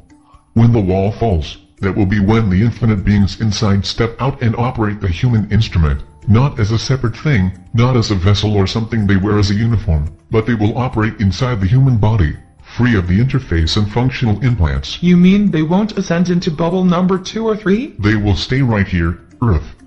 But they will stay here, in the body, as infinite beings, not enslaved shells of themselves. You said there were other beings involved in this intervention. Can you disclose them? I'd prefer not to say anything other than to mention that it will be disclosed soon. This whole enslavement of humanity is like the six blind men touching the elephant. Many people are feeling parts of the elephant and describing the part they are touching, but with blindfolds on, it is very hard to describe the whole deception. Are these blind men humans? Yes, of course. They see parts of this enslavement and they know something is happening. Something isn't right. You can have godlike beings walking around the earth coincident with murder, rape, child abuse and war, and they don't feel the separation and deception. Something is terribly wrong. Why are we letting this happen? According to the wing makers, there are people who are incarnated now who would be the equivalent of outliers. Are you familiar with this term? No. The term is typically used in statistics. Think of it like an anomaly. A person has what is called a transient malfunction to their interface, but in this malfunction, they are able to see through the crack. It might only last a second or two, but they glimpse what is behind the walls. And again, I'm not talking about the astral plane, that's just a more rarefied plane of the hologram of deception. People with these transient malfunctions often end up being diagnosed autistic, or in extreme cases, are considered schizophrenic, but because the malfunction is transient, they slowly merge back into the human hologram and lack the contextual meaning of what they saw anyway. They learn to forget. The program draws them back in. But before they forget, before they return to normal beliefs, before they are drugged or quarantined, they share their experience to the unconscious mind. And this begins to express itself through culture. It'll come out in movies, books, theater, art, poetry, and many of these expressions will help to feed the unconscious mind and open it up to the possibility that the scale of our prison encompasses even the light, even science, even angels, even God. Do we wear a target on ourselves when this gets released? I mean, will Anu decide to take us down if this goes out? Believe me, I've probed on that issue. There's risk involved. How much? I don't know. The wing makers explain that the creators of this plan have resigned themselves to the intervention, but that their equivalents here on Earth are not as excited by those prospects. It'll work its way out, but it'll take some time. What happens between now and the grand portal when the wall gets pushed down? All I can tell you is that the triad of power will continue to consolidate. The money system will continue to spiral away from the many into the hands of the few. This was part of the original programming. Relating to the return of Anu? Yes. Anu would step in and solve the world's problems and be anointed. Anu would use the centralization of the money system to integrate technology into biologic systems, so they would be able to have infinite existence in Bubble 1, Earth. That way, Anu reasoned, he could be God in this world forever. But as I said, this plan was not perfect in the sense of its infinitude. Anu underestimated the beings in Bubble 3 and beyond. Has it ever been tried before? What? This crack in the wall, and then pushing the wall down? No. Not in our world. This is the first coordinated effort to liberate humanity. But what about Jesus or Buddha? According to the wing makers, each of the avatars who came to this planet did so as invited guests. An avatar is an incarnate teacher of truth. Humans were explained as lost beings. It's literally how we are defined in the planes of existence outside our planet. Remember what I had said about the higher dimensional beings that would visit Earth and become manifested? Yes. That was how many of these avatars came to Earth. They did not go through the birth process, they literally manifested in the Earth plane with their dimensional consciousness intact. They did not want to be born into this world and inhabit a human body, because they knew they would sleep and forget avatars had to directly manifest. The problem was that people were afraid of them and stayed away, or people acted as guardians of the old system and wanted to destroy the avatar, or some people looked to the avatar to save them. This was what's on the evolution saviorship model of the universe. Evolution, as defined here, is the process of being saved and absolved of one's sins. The sinner evolved into the disciple, and the disciple evolved into the teacher and the teacher evolved into the hierarchy of teachers and leaders. Saviorship simply meant that an outside force or avatar would save the individual from their sins or reprehensible behavior, and connect them to the light or spirit of God. The Savior was an intermediary of the hierarchy that plugged the individual into the light of illumination and enlightenment. So, didn't these avatars open a crack? Of sorts, but mostly it was to demonstrate what was really inside the human vessel. It was not to show miracles for the sake of convincing people to follow them or to create a religion.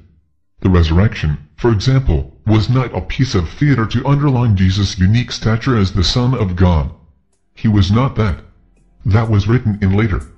As his popularity grew, it was understood that Anu and Marduk could utilize Jesus to strengthen Anu's hold on human culture, and reposition himself as a loving God, the father of great entities like Jesus. Avatars were generally considered an annoyance by Anu. Usually they were killed or locked up to wither and die. Stories would be created to either cement them to Anu's glorification, or they would be vilified and deemed to be of Satan. There was no middle ground with avatars. Jesus was really the first avatar that Anu decided to embrace and create a world religion around. Each of the other world religions were modeled after Christianity, even those whose founder was not technically an avatar. Avatars were very rare. They wanted to come in and push down the walls, but they needed a large enough following to bring the whole wall down. A crack wouldn't be enough. And if they came simply to show the nature of the infinite being inside each human uniform, they risked a religion being built around them that would become, over time, welded to Anu and the holographic, multi-layer deception that hung over humanity like a dome. The Wingmakers refer to a new type of being called the sovereign entity, these are pre-sovereign integral beings, but they are seated with the capacity to step out of the hierarchy, and in doing so, they allow themselves to examine information that others would attack or ignore. Unfortunately, the information that will liberate people is the very information they are programmed to attack. When you use the term hierarchy, what are you referring to exactly? The Wingmakers seem to use this interchangeably with Anu at the top, his leadership within the dimensions, or Bubble 2, and his leadership on Earth in the form of the Triad of Power. Collectively, this is the hierarchy. Can you help me understand how it is that no one knows about this? I mean, out of 6 billion people that walk the earth now, and I don't know how many over the whole history of mankind, but it must be, I don't know, about a hundred billion or so. How could it be disguised? That's how many life expressions, perhaps, but not beings. Because of reincarnation, right? Yes. But to answer your question, it's done through the interface of the human vessel. The interface is what most people consider to be them. That is their consciousness. The interface fuses with the physical body and the dimensional being that powers and animates it. There's an old saying that the last thing a fish notices is water. It's an apt expression of our circumstance, too. Humans have been living in this consciousness of a human body ever since they were first created.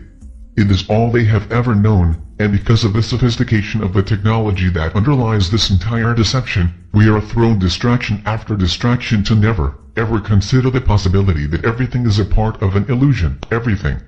While it seems impossible that a hundred billion lives have existed and not one has peered through the crack, it would be like going to the deep sea where the bioluminescent fish live, and explaining to them that a world exists of light and warmth, Maybe one or two would venture from the depths if they were told of this world, and they would return and report that they had experienced this strange, mysterious world. But never would they imagine that a whole world of land and air existed above that, where beings of entirely different natures walked on dry dirt and breathed air and looked at stars a billion light years away. Humans are a lot like those bioluminescent fish. Okay, I understand the analogy, but no one? Momentary glimpses through cracks, that's all. The avatars that manifested here have operated the closest to our true nature on this planet, but those who have gone through the birth process and have human DNA, they are locked into their interface or they are quickly removed. Tuesday you talked at length about Lucifer and his creation of the Animus. Where's that factor into this, this story? Until last night I didn't know if this interview would even take place. I knew you wanted to speak in depth about the Grand Portal, but I wasn't sure at what level I would be allowed to disclose it. This is very guarded information. It's both a break-in and a breakout. The break-in is difficult to engineer amid the misinformation and deception that occurs on this planet relative to humans. Lucifer and the fallen angels was a nod to the fallen humans who were booted out of Eden. It is the same story with the same purpose, Place fear of rebellion in the consciousness systems of humans. Make it strong and potent in the unconscious mind, and make sure that Lucifer, Satan and the devil mirror the Trinity of good, the Father, Son and the Holy Ghost. Anu realized that the best way to make his human creation lean his way was to make the path to his kingdom appear virtuous and morally acceptable. And how do you do that? You have evil embodied in demons that are bent on enslaving humans and preventing them from following the virtuous path. It created the perfect polarity of human beings progressing to the kingdom of God, while demons seduced and ensnared them. Angels and ascended masters were guides to show the way to the waiting kingdom. Eastern traditions used demigods, hierarchies of masters, meditation, but it was based on the very same polarity, which at its most basic level was light is good, and darkness is evil. So with that said, let me return to your question about Lucifer and the Animus. The story of Lucifer is like a prop on a stage. With Lucifer in play, the stage is more dangerous. You can place blame. You can deflect blame and responsibility from the morally righteous and God-fearing humans. You can infer that your enemies are enslaved by demons that do the bidding of Lucifer or Satan. This creates conflicts that lead to wars. This creates histories of conflict which sow generation after generation of people who are living their forefathers' conflict. Amid all of this, God grows in stature and importance. Everyone wants to claim that God is on their side. Lucifer was a catalyst to enlarge the importance of Anu. To make humans dependent on him even though they never saw him, heard him, tasted him, smelled him or touched him. He was in the universal field, vis-a-vis, -vis, the unconscious mind. It was programmed this way, and religious culture only made it feel more real. The Animus were the human 3.0, in the trajectory envisioned by Anu, to support his infinite supremacy over humanity. His goal was to synthesize humanity with technology. The Animus were us in a potential future. There are government organizations, corporate entities and research institutions that share this same goal even as we speak. How did the decision get made not to release everything? I've said that the Wingmaker's materials are extensive. There are 24 philosophical papers, but only 4 will be released. The 4 interviews we previously done, as I told you, these 4 will be released, possibly not all at once, but those have been sanctioned. This interview and the remaining 20 philosophy papers will not be released until certain conditions are met. What those conditions are, I don't know. I assume it has to do with the discovery of the portal, the human portal I mentioned, and getting the crack in the wall established in this world. Once a foothold is made in establishing the inception point, perhaps then the other materials can be released. As for how the decision is made, let me be very clear that this is not my decision. It is determined by the wing makers. An intervention from time travelers is a very sensitive operation. Many variables need to be weighed and considered. Forgive my blunt question here, but how do you know that the wing makers aren't part of this whole deception? At some point you have to trust your feelings and intuition, otherwise everything is just a purposeless mental exercise. I can say that I'm 100% confident. As a scientist, I'm disbelieving by nature, but everything I've read and studied is consistent to their stated goal, which is to establish a new inception point for human beings in this specific time. Their first disclosure is a cloaked message of hope. An energetic rewiring of the spiritual philosophies of this planet, away from masters, organizations, hierarchies and belief. It is more focused on becoming a spiritual activist, or practitioner of behavioral intelligence. It is about activating pre-sovereign integrals, who are able to understand the evolutionary scope of the human being, and help it to veer in the direction of the sovereign integral. The next or second disclosure will be the activation of the human portal. I don't know yet how this will unfold, only that it will happen relatively soon. The third disclosure will be this interview, and possibly other material. When this interview is released, it signals that the inception point has already been made. According to the wing makers, this means that the grand portal will occur on this planet. Once the new inception point is anchored, it will unfold to plan, I have made the decision that if the second disclosure occurs, I will commit to this plan 100%. Until then, I have told the wing makers that I am with them, and will conduct my actions according to their insights and guidance, but I will always have doubt in my mind, until I see that the second disclosure occurs. What if no one believes this, Dr. Neruda? What if you release this interview sometime in the future, and no one can relate to it or, as you suggested, they attack it? What then? Is the human portal sufficient to make this whole thing happen? Yes. That's what I've been told. Once the inception point is anchored, it will all unfold to plan. So no one needs to believe this, it'll just happen? That doesn't sound right. This information will remain in the underground, but science, according to the wing makers, will be the force to actually prove out this information. How? Science will find the walls. They won't expose the crack or necessarily assist in the demolition, but they will expose the walls. But you said that LERM was discovered by the ACIO, and they thought of it as God or universal intelligence or whatever it was. Yes.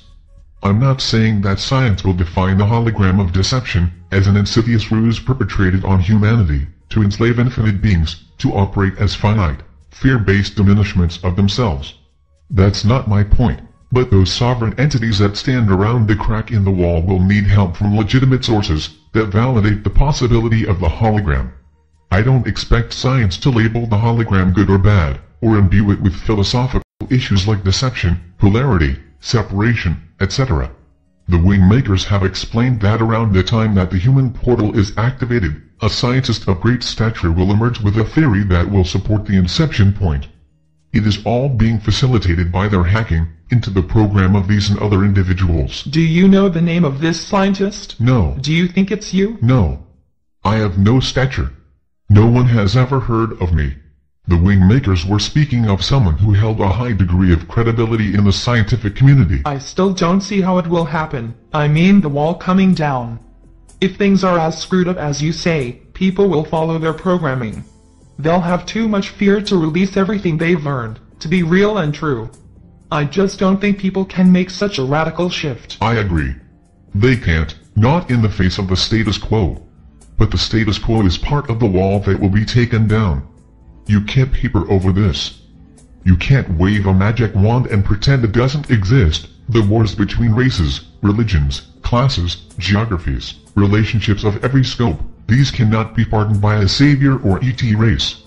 They have consequences, and these have to be dealt with. The status quo, the old normalcy, the comfortable distortion, will be removed, because you cannot build a heaven on earth as simply as plopping a new reality layer on top of the status quo. It would be like adding the Grand Canyon on top of a skyscraper.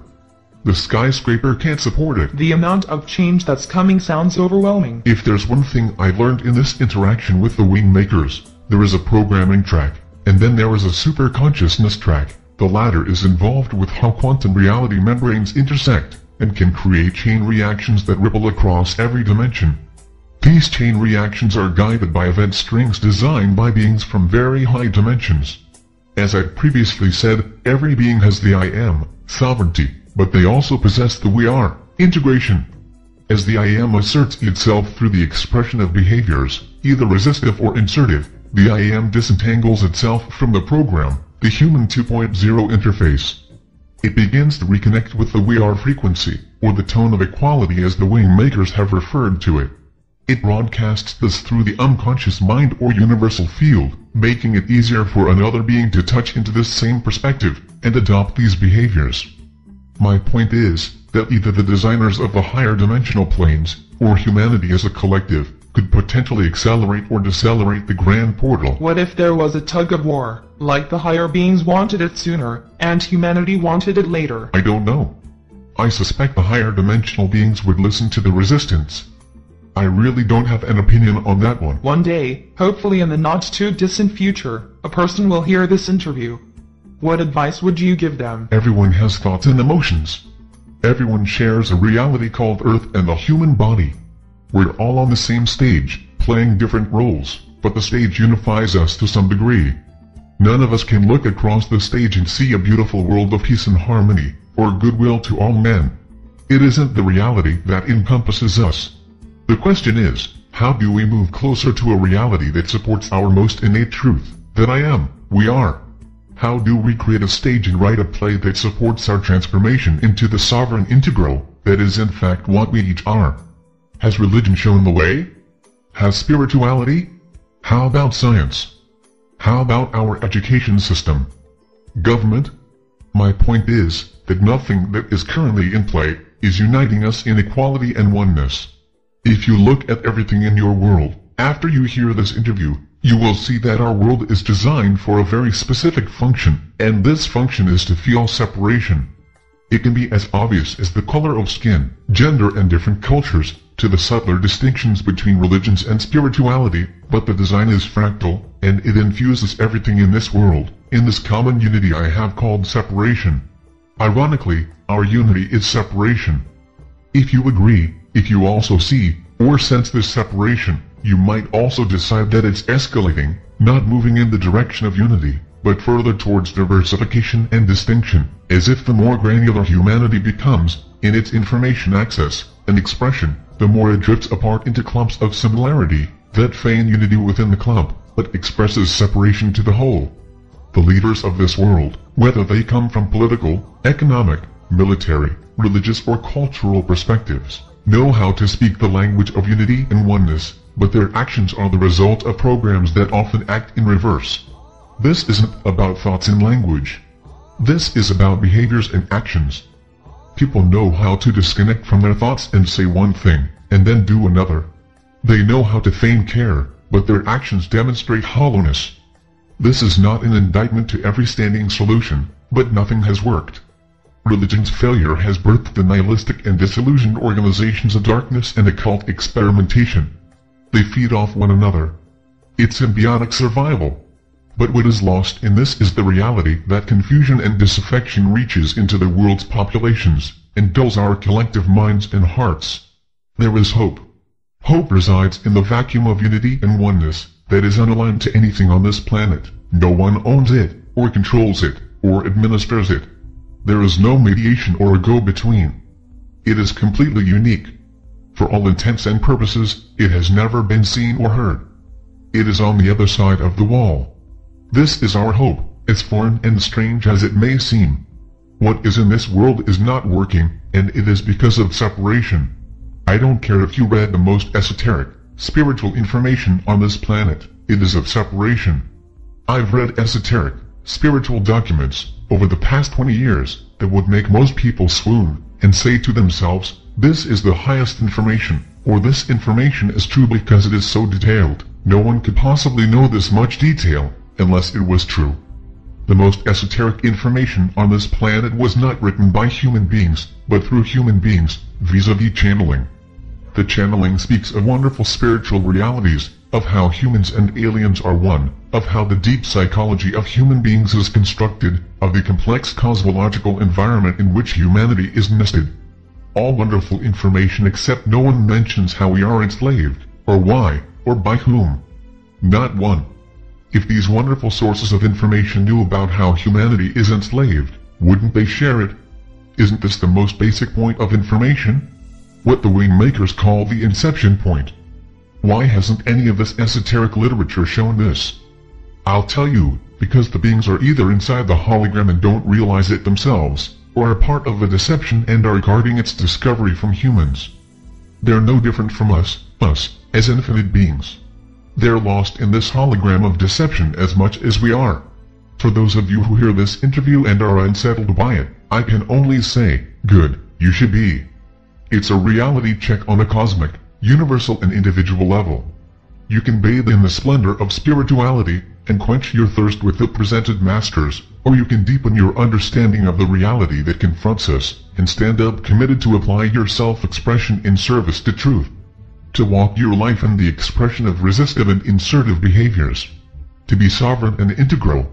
It isn't about spouting high spiritual concepts in thoughts and words. That is the reflex of the consciousness system. It's parroting and robotic. Live the I am, we are, in your behaviors, and leave the mind. Shatter it. The mind is programmed to compare and analyze, which feeds the me separation. Sorry about that, I got a little carried away with my answer. No, it was good to hear your passion for this. I guess the thing that's interesting to me is that the Wingmaker's materials are esoteric, at least to me, and they seem to be explaining cosmological systems and psychological structures. How is it different than what you were just saying about the channeled information? Sometime this year the Wingmaker's site will be released on the internet, at least a part of it. Its only goal, according to its authors, is to introduce one concept, the sovereign integral. That is the fractal seed for the inception point. The second phase will introduce practical behaviors to support the sovereign being in their deprogramming of what it means to be a spiritual person. The third phase is to anchor the inception point and create the crack in the wall. You've talked about the crack in the wall as the inception point. Can you elaborate on that a bit more? I will, but first let me state something that I want to mention before I forget. The youth of this world are impressionable. They're transitioning from the subconscious implants of their parents and forefathers to the creation of their own personality. They want to be different, they want to express themselves uniquely, and this opens them to influence. Where does this influence arise? Increasingly it comes through technology and the culture creators of music, entertainment, games and books. They bring the tools for youth to knit their unique layer of personality that can fuse atop their genetic layer of consciousness, the subconscious. The glamour models, as the wing makers refer to them, convey a powerful elixir, which is to be selfish and self-obsessed. Narcissism is okay. Nihilism is the philosophy. This is prevalent and it will continue to spread, because this is Anu's program. When technology is unleashed, in the form of global platforms, the impressionable youth will inform their consciousness and personality layers by means of this underlying philosophical belief in nihilism. The way this seeps into the culture, through technology that helps codify personality in our youth, is one of the clearest examples of how Marduk's programming spreads. However more sophisticated the technology becomes, the more integral it is to the person, the more the culture creators will exercise this philosophical system in humanity. Why? Because nihilism is the belief in nothing, and if kids build their personality and belief system from these ingredients, they will be more obedient to their internal programs. Why? If you don't really believe in the higher reality of our world, you are more inclined to relinquish your sovereignty, or the I am consciousness. The phrase, selling my soul to the devil, is simply code for, I surrender to the will of Anu, and desire to let him take my life for his purpose. The unstated objective of that renouncing of the I am, is that Anu will give me something in return for my sacrifice. But the only thing that is returned, is slavery to the system. You walk your life according to your program, and the program ensures you are a puppet, whether you are rich or poor. I'm glad you mentioned children. Do you see them getting this? And if so, at what age? If you mean, will children understand the information that I've shared tonight? Yes, of course. In many ways, they'll get it better than their adult counterparts, whose human 2.0 interface is more welded or infused into the human uniform. But the wing makers have written the material so that they will be understood by the prepared, and age is not the key factor. It is the preparation. Like what? I mean what constitutes preparation? Preparation is willingness to change. It is a lack of fear to embrace a completely new paradigm, and just as much, to release the old. If a person is poorly prepared for this information, they defend what this information tears down, which is nearly everything.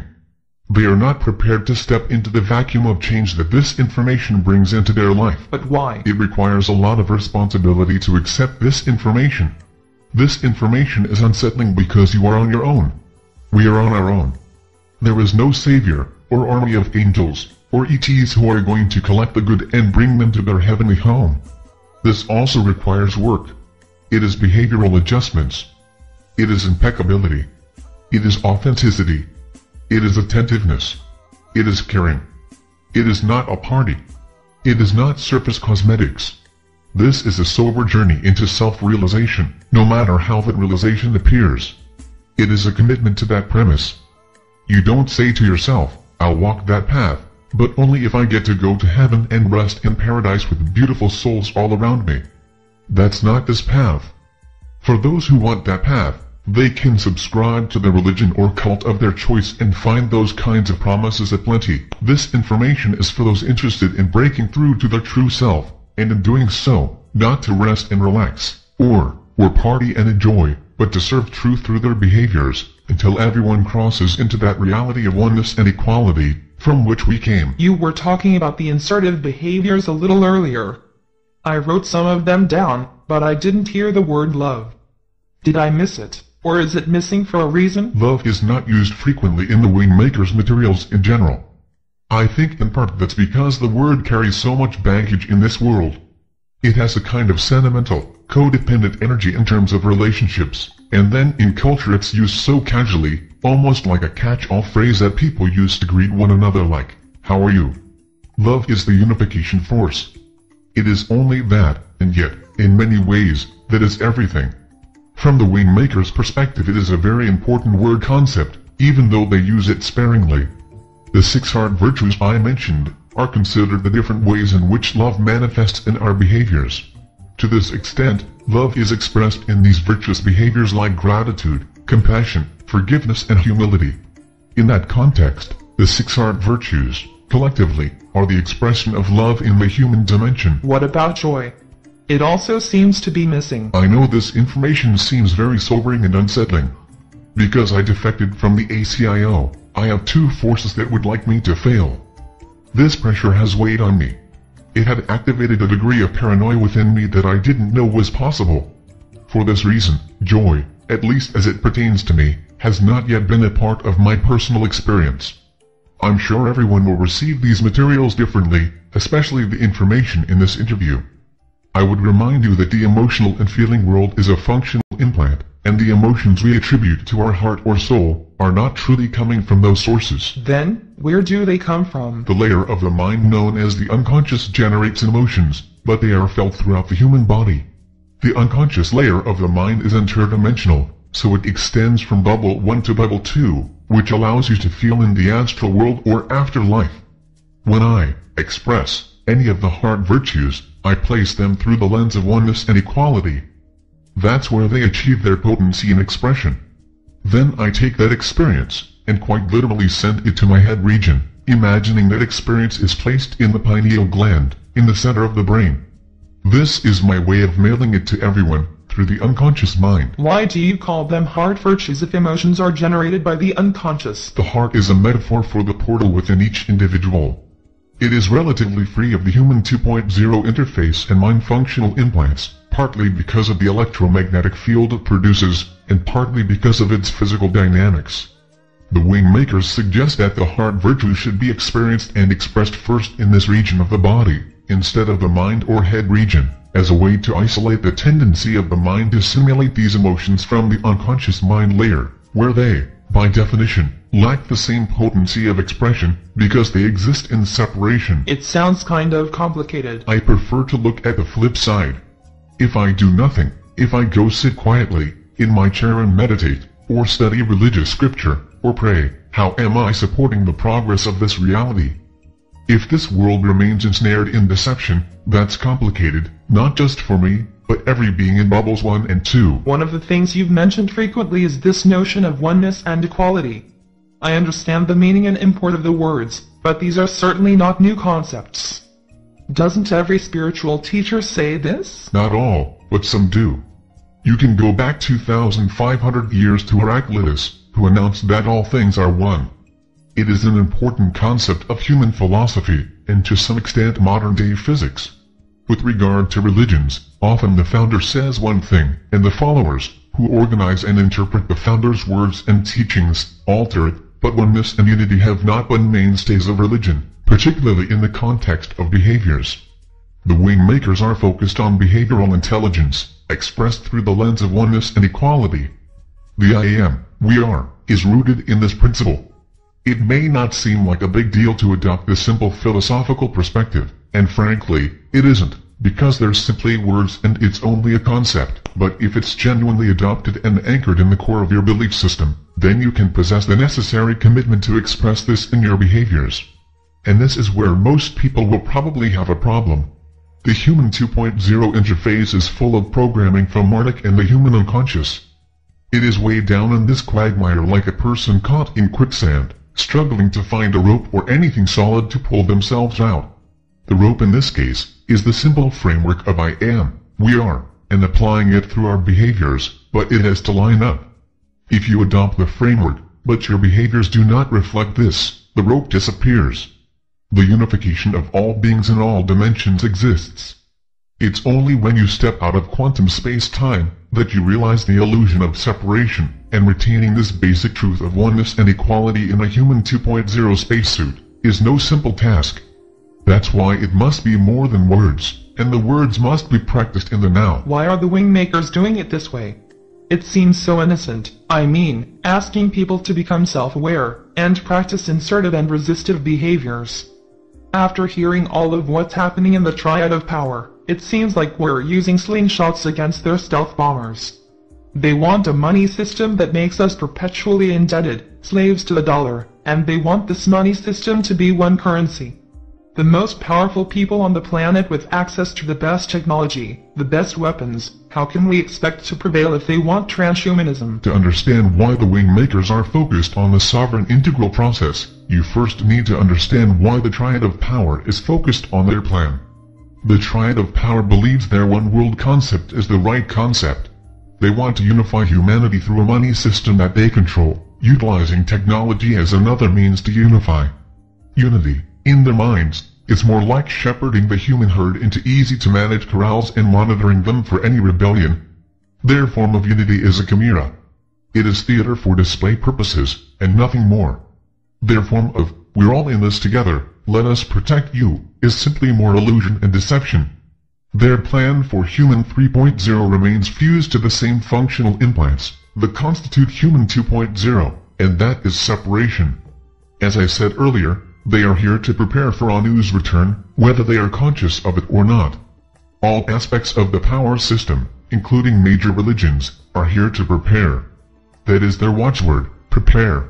The Anunnaki have one dominant belief in humanity. We are weak, because we live in fear and separation. We do not stand up to the drip drip drip of indoctrination, or the slow, but persistent evaporation, of our personal liberties. Now, remember that the Anunnaki, and the triad of power are both calculating and patient. What they established in our distant past is beginning to come to fruition. The finite, 70-year life of a human being lacks patience. It is programmed to be impatient. This is against infinite beings that see timelines in hundreds of thousands of years and can program individual human beings within those timelines to achieve precisely what they want, if human beings agree to it, if they don't stand up. The Anunnaki do not embrace the sovereign integral process. The notion of oneness and equality seems like a weakness to them. They believe they have the upper hand in this chess match. They foresee checkmate. Humans will fold. The sacrifice of Princess Diana last August was symbolic of the vibrant queen being lost on the chessboard. Those are the kind of messages they make, the kind of bold announcements. They do this out of a feeling of certainty in their programming, and patience. When I say programming, I don't mean just the internal interface that Marduk has programmed, but also the programming of the unconscious mind through the media, culture, religion, politics and economic structure. The combination of these forces is really the cause of their confidence, because they see our fall as an inevitability. Now, to answer your question, human beings, even those with Anunnaki DNA, can become self-realized of their true nature through a simple process. It doesn't require that they meditate and pray all day, or retreat to an ashram. The sovereign integral process becomes a natural part of the life expression of the individual. If enough human beings can embrace this process, or something like it, the crack in the wall will expand, the wall will become less stable, and the world of separation, in its brittleness, will begin to crumble. The life essence is what we have on our side. This is not a slingshot as you put it. It is the infinite force that powers every object in the universe. Life is inside us, and it exists in one and only one state. Equality and oneness. The entire hologram of deception, as created and curated by the Anunnaki and their cohorts, that is not life, it is the exemplar of separation. Life is truthful and authentic. Separation begets deception, unworthiness and fear. If enough human beings awaken, if we begin to realize what's afoot, what plans are being made to further enslave us, and ensure that we remain a part of the hologram of deception, life will move inside us and we can collectively stand up and stop this, but it has to be done in the right way, with honesty, forgiveness and compassion. The alternative to separation must be expressed in our movements and practices. We have to model these behaviors as a collective entity. That is the definition of the grand portal. You've talked a lot about separation, can you elaborate on why this concept is so prevalent? If you look at the material that comes from religion, spirituality, philosophy, psychology, even the arts, you will see that much of this material is designed to be an owner's manual for our functional implants. They support the Human 2.0 interface. They instruct us on the methods and attitudes to activate these systems inside us. I've previously mentioned the three layers of the consciousness interface, the conscious mind, the subconscious and the unconscious. The unconscious is where we mostly operate in terms of our behaviors and perceptions. The unconscious mind layer is deep and penetrating, and it is universal. As I said, it's how Anu uses the oneness concept to his benefit. We are one in separation. The unconscious mind is one. Separation is a fractal energy. It infects everything within the hologram of deception to such a degree that it's not recognizable. No matter how well-intentioned a person or organization might be to convey true information, what often lurks behind the information is this fractal energy of separation, and its use of comparison and judgment, and all the other tools of separation that distill down to fear and unworthiness. It's as if the internal programming of Marduk and the external programming of the triad of power echoes around in all content of all times and cultures, so common and accepted as to be unnoticeable. We have accepted separation because it seems normal. Thus our behaviors and perceptions, driven largely by the unconscious mind, embody separation, and the vast majority of us do not even know it. Okay, but then how do we become aware of it? A person must understand that they are being programmed. That's a starting point. If you don't accept this basic premise, then why would you choose to change? If you do, then observe the programming inside you, within others in your environment, the larger world, and begin to see how subtle this programming is. In many ways, to observe this programming requires us to be neutral, so we can simply observe our internal states and the messages therein, as well as those of the external program, which come via television, the internet, email, newspapers, magazines, direct mail, and so on. It isn't critical that you know how every program is expressed into your life or what its esoteric meaning is. What's important is that you understand you are being programmed and you seek an internal source of direction, inspiration and movement. The sovereign integral process is focused on you, the individual, directing your own self, life essence, to express itself in oneness and equality. That's it. If you do this, then you are releasing the hold of the programming. For some this can be done quickly, and for others it might require more diligent practice. Can I do this and still be a Christian or whatever I was raised in? I suggest that anyone who resonates with this information, try it out. See how it moves them through their life path. If they want to remain in their current structures, see if elements of the sovereign integral process could be applied. But if you don't see separation in your current practices, then stay there, because you won't have the motivation to be a practitioner. But you just said that most of us don't see separation. I said that if you don't see it in your current practice, then you won't be motivated to change. This process is all about change. Make no mistake about it. It is not selfish in any way. There is no burrowing into the bedrock of a belief system here that will make you feel superior, or privileged, or wise.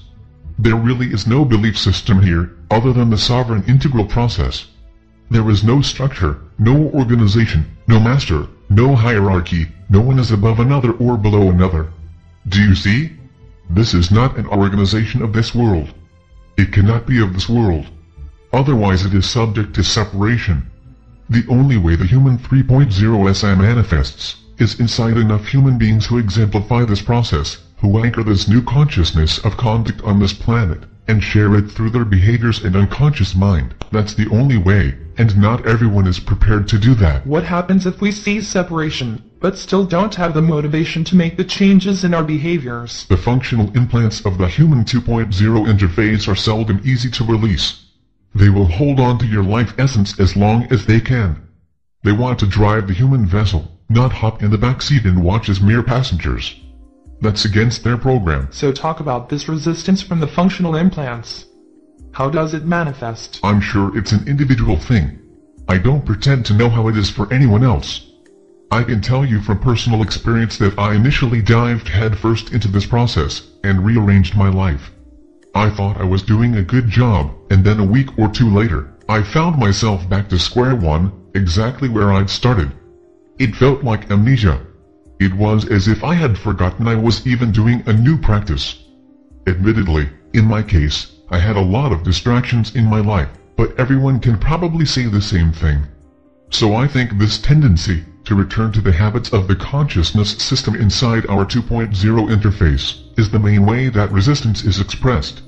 Change of the scope is not an easy proposition. The human 2.0 mind doesn't like the backseat. So what did you do to return to the sovereign integral process? Well, for me, I needed to direct the techniques inward. Explain what you mean. I was directing the heart virtues outward to others, but I wasn't turning them inward to myself. It dawned on me that the inward was probably the most important place to start. How did you do that? It takes great alertness to live and express in the now. Human beings have a tendency to live in our past memories or future concerns. This was what I was doing and it took me from the now. And the now is where our life essence expresses. It isn't in the past or future, only the consciousness framework pivots between past and future, so if you find yourself in there, you know you are not in your essence. When I realized this, I read from the Wingmaker's philosophy that breath was the magnet of nowness. It was the element that brought the human being into nowness by being aware of their breathing. I also learned that there were different kinds of breathing that enabled this sense of nowness to penetrate more vividly into the hologram of deception. The point is that simply being aware of my breath helped, as the Wingmakers put it, to center me in stillness. This, by the way, doesn't mean that you're in a quiet room. You can be in a meeting at work and center yourself in stillness through your breath. But by being in this internal centeredness, I was in a better position to feel my own sense of expression, and that's what was missing in my initial efforts to integrate this process. I didn't have a good starting point for my practice of the heart virtues, and I was directing them outward to other people or events, and not myself first. Once I made that adjustment, it helped me to identify my essence and distinguish it from my mind system. Life essence is authentic in oneness and equality, and exclusively moves in nowness. The consciousness framework pivots between the past, present and future and operates in separation. If you express the heart virtues from the consciousness framework, especially outwardly, they won't have the same potency or effect. You've mentioned the idea of resistive and insertive behaviors, and I think I understand the insertive behaviors in terms of expressing the heart virtues to oneself and others, but talk a little bit about the resistive behaviors. What are they, and how does that work? Again, you need to start from the point of distinguishing your life essence, in the now. Center yourself in nowness, through being still, and breath aware. Initially this may take some time, but it happens quicker with practice. Thought patterns that connect you to separation need to be stopped. Behaviors, too. You can simply say, I've identified a behavior that supports separation in this world. Let's say I have believed that Muslims are less moral than atheists, and therefore less likely to get into heaven than someone who doesn't even believe in God. This is a belief or thought form that relates to separation. I can say, stop that, but it's not really effective for most people. I can resist the belief every time it expresses itself in my life, but many of these beliefs are so subtle and subconscious that we don't even realize how they express themselves in our behaviors and choices. If you apply the heart virtues to yourself, like forgive yourself for having these perceptions, have some compassion for yourself that everyone is infected with these separation beliefs, from their subconscious and unconscious mind layers. Be humble that making this resistive alteration is not just about you, but in a way, it's about everyone, because we are one. Appreciate the fact that you're working on this for the good of all. Have valor that you can stand up and resist these separation complexes that lurk in your programmed consciousness framework. You can see how I used the heart virtues to effectively deal with a belief or perception that separated me, not just from Muslims, though they were the target in this particular example, but when you draw separation lines around anyone, you're operating from the consciousness system implant, and it only supports the hologram of deception. Okay, but you're not suggesting that I look at rapists and murderers as one with me, are you? Well, that's just it. They are. You can't have oneness and equality and then say, well, that's true, except for this population of society, or these felons of the human race. There is no leper colony, where humans are excluded outside of the circle. The circle is all-inclusive, or it is an illusion. This is an absolute. Remember my statement about the hologram of deception as a prison? Yes. There is no other prison inside the prison. We're all in the prison. All of us are prisoners, even those who are in the incunabula. There is no one who stands inside the prison walls and truly knows oneness and equality. But then how does it change, if no one knows this? It's a process, both for the individual and the human race. We work on it, together. We resist behaviors of separation, and insert behaviors of oneness and equality. We disengage from the thoughts, ideas, beliefs, principles, people, organizations, currencies, food, clothing, fashion, toys, and everything else within the hierarchy whose roots are nourished by separation. When you put it that way, it sounds daunting, even impossible. It has to be done, and it has to be done by us. The question is, if it has to be done, when does humanity want to do it? Now? A hundred years? A thousand years? Ten thousand years? The wing makers are clear about this in their writings, that if we wait until after Human 3.0, when man and machine become integrated, it will only become more difficult. Enslavement of life must end, at all levels. I want to shift to something that's been bothering me about this whole conversation, and that is the issue of a God. From your description, God, as we've come to think of him, or her, or it, is an illusion. It's really a being who presents himself as God. So the question is, is there a real God? Thanks for asking that question. I meant to bring it up on my own and I think I sidetracked myself. Let's go back to the thought experiment about the bubbles. There is a presentation of a god, which as I've said, is Anu. This is the god that Muslim, Jew and Christian alike, revere and worship. This is the god who desires to return and provide a clear supremacy over humankind, to direct humanity to a human 3.0, one-world transhumanist existence that would stretch into forever. As I've said, there's a life essence inside all beings, including the Anunnaki, and this life essence is infinite. If you understand infinite, then you understand it is outside of space-time. If a being is outside of space-time, it is not defined by polarities, like birth and death, creation and destruction, good and evil, and so forth. It is beholden to none of our vocabulary and concepts. Thus, when the wing makers decided it was time for this information to become available on Earth, it was offered, in terms of its text, as a bridge. In other words, it was decelerated to our language constructs. And other forms of media, too, like the music and art. Yes, but in a different application. All of this information needed to be encoded in a way that would be acceptable to two sources of scrutiny.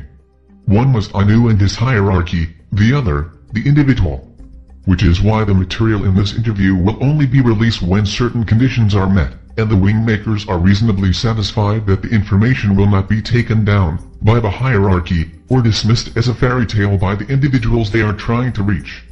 Now, when this deceleration occurred, they elected to release the information in phases. Phase 1 would be encoded in a way that would allow people to understand the world outside of the hologram of deception, but in a framework that's somewhat familiar that's resonant with the evolving beliefs on the planet. Hence, the idea of first source, source intelligence, sovereign integral, human instrument. All of these concepts will be provided without contextual details, because if they were included, the information that I'm telling you tonight would be purged by the hierarchy. The entire event string would be taken down. The inception point of the portal and grand portal would have been mired in doubt. So, it will be dispensed in the manner it must. This is not in my control. Source intelligence is the energy intelligence of first source that serves to accelerate the expansion of consciousness and supports those who desire to unlimit themselves. What does this have to do with the existence of a God or not? I just wanted to clarify that the word God means multiple things and it needs to be clear what meaning is being used. That's why, in part, the wing makers don't use the word God but instead use the word first source. However, in their later philosophical writings, after Chamber 6, they don't use this word, for the reasons I mentioned. But these are very subtle intonations in their writings, as they try to weave their messages into our modern-day culture without being targeted by hierarchical censors. There are literally people who censor this information? There are people who censor and control information everywhere, in the media, the government, the military, the sciences, education, religion, everywhere. The hierarchy has a complete army of censors. The vast majority don't know who they really work for. They're just enforcing what they've been hired to enforce. It's just a job. But technology platforms exist primarily for censorship. Intelligence gathering enables NSA censorship and information control. It's their job to filter, control and manipulate information. The system of mass surveillance isn't deployed to protect the masses. It's to control them, to keep them inside the prison, from a news perspective, and controllable, from the elite perspective. You're not saying that the NSA cares about things like this, are you? Not in the sense of how God is defined, but it's through their surveillance platforms that those in the hierarchy are alerted to information that details critical aspects of their hologram of deception. That kind of information is fed upstream to those who do care. If that's the case, then whenever this gets released, it'll get censored. So what's the point? This is all about timing. If this gets released it will be because the wing makers have confidence that it will pass censorship. Something will have happened to enable it. I'm aware you haven't really answered my question yet on God, so I do want to come back to that. But with the internet these days, couldn't you just drop this whole information on the public at one time? It'd go out to a few thousand people and then they could put it out on other sites and it would just grow in geometrical progression. How could they hold it back or censor it? It would be modified. It's a complete set of information. Once it got out in that format, some would claim their version is the original and others would claim that their version was the original, and they might be as different as black and white in some areas. It only creates confusion, and once there's confusion, it's impossible to bring clarity. In intelligence circles this is called reputation destruction. Think of it like this. You have a set of information that is targeted to specific beings that live everywhere on the planet. You wait until there is a communication system that can get to each of these beings. You have to make sure that the information is as pure as it can be, but still get past the censors, so you encode it and release it in phases. The first phase is released as a real event, to test the waters of reaction. The second phase is released with new content and modifications, emphasizing that it's a mythology. This is to reassure the censors. The third phase will get more involved in practices and behaviors, but without full context. The fourth phase will probably be the human portal. The fifth phase will probably be this interview. And the phases that follow will depend on how this interview is received. So every release is being observed by both the hierarchy and the wing makers. Okay, let's go back to the God discussion. Yes, so, to answer your question, is there a God? There are many gods. Some beings present themselves as gods, and some beings manipulate others to such a degree that they become regarded as gods. And then there are collective intelligences that move between the quantum membranes, and simulate godlike qualities of omniscience and omnipotence, but they are not gods in the sense of being the creator. There are even some beings that present themselves as God through a human channel. The view of the wing makers is that the oldest civilizations in the universe believe there is a creator, but that this creator, known in the wing makers' philosophy as first source, is so fundamental that it is the fractal essence of all life in all variations. It is the quantum zygote of life at the most foundational level. It is not truly knowable as we think of knowledge, it is experiential through sound that evokes this tone of equality spoken of in the wingmaker's philosophy. It's not apprehended through the mind, which makes it hard to describe or convey. This is the problem with anything so elemental that it all but disappears. How do you convey it in such a way that it can hold a human being's attention? So there's a God, but it's unapproachable. Is that basically it? Yes, but I want to mention that the relationship is to a creator, not a God. The creator is in all life. God is more of a parent, and in religious circles, a father figure who is humanized to such a degree that we can pray to God to give us things, help us remove obstacles, crush our enemies and so on. Creator is aligned to oneness and equality, while God is aligned to separation and fear. First source is the creator of life, the manifest reality of all existence. The creator lives within life as the infinite spark that connects all life as equals in oneness. It is not here to be humanized. It cannot be humanized, or for that matter, reduced to any other life form or thing. The Creator is the conjoining of all existence in the equality of oneness, and when that occurs, then God exists. When it does not, there is no God in existence, only a Creator. It is really that simple. As it is said in various religious texts that God created man in his image or likeness. And provided you understand Anu as God, then this is a reasonably true statement. However, the Creator created the infinite spark that animates the human form, and so the sovereign integral is the creation, and Anu had nothing to do with this. he merely figured out a way to enslave it. The last thing I'll say about the concept of God is that it's used by religions to separate ourselves from responsibility. It allows us to say, I'm not responsible for poverty, or war, or child abuse. There is a God who is much higher than us. God created the world, He is in charge. If He allows war and poverty, who am I to bear responsibility? The wrongdoers will pay in hell, and the tormented will reign in heaven. So God, or the concept of God, releases us from responsibility. The Creator, on the other hand, is not this way, because we're all bound in oneness, and what happens to one happens to all, and therefore we're all responsible for allowing separation to rule our behaviors. It's important to recognize the difference between the constructs of Creator and God, especially within the hologram of deception. After hearing all of this explanation, not just about God, Creator, but the whole interview tonight, why couldn't it have just been released as it is defined in this interview? Why even release the first phases if they lacked this context? I've tried to answer this already. Let me put it this way, but understand that this is speculation, so take it as such. There's no assurance that this will get released or stay released. That's one reason. There may be other individuals that need the earlier phase information because it bridges their current beliefs better than the later phase information. That's another reason. Remember, this is as much about redefining the unconscious mind as it is anything else. The unconscious mind is the back door that the Anunnaki left open in their designs.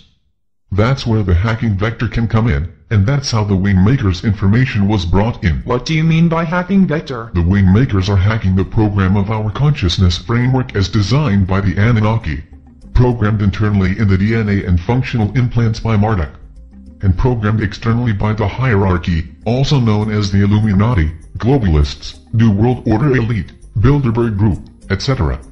The Wingmakers must come into these programs from vectors that are less protected or defended by censors, and have the potential for quick spread. Bear in mind, that while the functional implants of the Human 2.0 interface are programmable, should they become hacked or altered, they can be upgraded or patched just like software. So the ideal method to enter the human domain is to enter through a backdoor, appear harmless, even part of the order, and then quietly see the fractal process that can spread through the unconscious mind layer. That vector is not altering the program from the hardware or software perspective. It utilizes the consciousness framework in the Human 2.0 interface without changing its programming. It's like an app riding on top of the operating system. It needs to be invisible until certain conditions are met. Once those conditions are met, it can be released, and once it is spread, it cannot be stopped. I'm not familiar with the term app. What does it mean? It's a software application that's not part of the OS, but uses the OS or operating system. If it isn't changing the consciousness framework, then what's it doing? It allows individuals to initiate their own sovereign integral process, which allows them to release the hold of these systems on their life essence. It's less about modifying or changing the program, than it is about releasing the hold that these programs have on the consciousness of the life essence. Okay, I think I understand, so I want to go back to this process. You said it has two main parts, insertive behaviors and resistive behaviors. You also mentioned something about breath, but I didn't hear you say anything specific about it. Yes, the breath is an important way to bring you into self-awareness. It's like a quantum light turning on that illuminates your life essence that part of you that is not of the human 2.0 interface. You're able to sense and begin to re-experience this infinite being that is you. The breath is something that anyone can use without a lot of complication, and obviously, it's always with you. It doesn't require any technology or expertise. It's really just a way to shift attention to the core of yourself. The wing makers write about quantum breathing or quantum pause. It's a technique from Philosophy 7. Can you explain it? It's very simple. You breathe in through your nose for about 2 to 4 seconds, or whatever's comfortable for you. Once you've filled your lungs, you pause, or hold your breath, for the same amount of time you breathe in. While you're in the pause, holding your breath, feel it like a suspension of time, and fill that space with the feeling of I am. Okay, sorry to interrupt, but tell me again, what is the I am feeling? How do you define it? It's the sovereign aspect of consciousness. It's not the personality that defines your human experience, or you typically associate with as yourself. It is the infinite consciousness of you. It is also one. High is one. it is one thing, infinite life. It is not the mind, nor the heart, nor the body, nor the feelings and emotions of the personality. It is singular in its depth and silence. Okay, go on. After you hold the breath in your lungs, and anchor it with the I am feeling, you exhale through your mouth, again for the same period of time, and then you pause again. Your lungs are empty, and as you pause, you hold the feeling of we are. Then you repeat this cycle until you feel you're done. Can you explain the we are feeling, too? This is a sense of connection to all. The sense that you are connected, and that the I am feeling you held a moment ago is being shared with all. I use the out-breath pause to place any of the heart virtues that I'm working on at the time. For example, I might be working on the virtue of compassion in my personal life, and I can hold that feeling in that out-breath pause, and imagine it as being shared with all. I think I understand what you're saying, and I don't want you to take this the wrong way, but how can this possibly compete with the globalist agenda of world takeover? It's a fair question. But look at the reality. There are many who've protested this enslavement. Throughout history there have been people that have come to this realization through various means, and they alerted people to this deception. They may call it a conspiracy, without really understanding the depth of this deception, or its ultimate plan, but in whatever way they know of this, and at whatever level, they all experience fear. The fear is that we're powerless to stop them. The capstone of the elite have been planning this for more than 11,000 years, before Human 2.0 even existed, the plot was devised. They have powerful interdimensional beings that know humanity on an intimate level, because they literally created the human being, and they can program humanity with such granularity as to define our life paths down to our day-to-day choices. How can one possibly defeat such an antagonist? They have the money, they have the politicians in their pockets, they have the defense and protection, they have the powerful relationships everywhere in the world, and they have the most powerful technology, in terms of surveillance and weapons. Their innermost circle is impenetrable. We can be wide awake and aware of what's happening, but awareness doesn't suddenly, in itself, change the chessboard. They taunt us to protest. Wave your signs, publish your websites, fling your fists to the sky, investigate all you want, it won't change a thing. They will tell us to our faces that their power is inexhaustible. This is how they think. They want us to feel this futility and have this overriding sense that the endgame is unavoidable. They want us to believe that we are powerless. Remember, they are securing the world and its populations for the return of Anu. That is their program, and while only the capstone of the elite understands this plan, it is enough, because the downstream operatives are loyal, programmed entities. All one needs to do is to watch Madeleine Albright in that 60 Minutes interview, and you will understand how they have been programmed to think. I don't think I saw that. What did she do? About a year and a half ago, Lesley Stahl of 60 Minutes asked the U.S. ambassador to the United Nations, Madeleine Albright, if the death of a half million children was worth the price to essentially punish Saddam Hussein. Albright responded that it was. You see, this is the enemy that holds power. If they can justify killing children, they can do anything. The wing makers have written that it isn't the protests that will change this enemy. If we shout at them and practice resistance with our guns in the street, they will only squash us. To bring their objective to a halt, we need to push down the wall, and we can do this by being practitioners of the sovereign integral process or anything similar.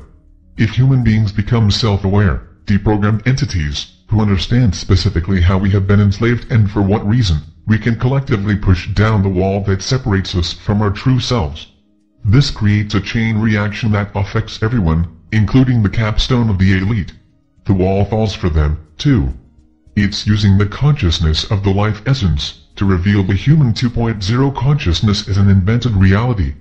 It's weaning from the hologram of deception to the reality that all life exists infinitely, as equals in oneness. Okay, but how do we know that we'll be successful against them? We don't, other than what I said before, that the wing makers are humans who have time traveled to share this sovereign integral framework.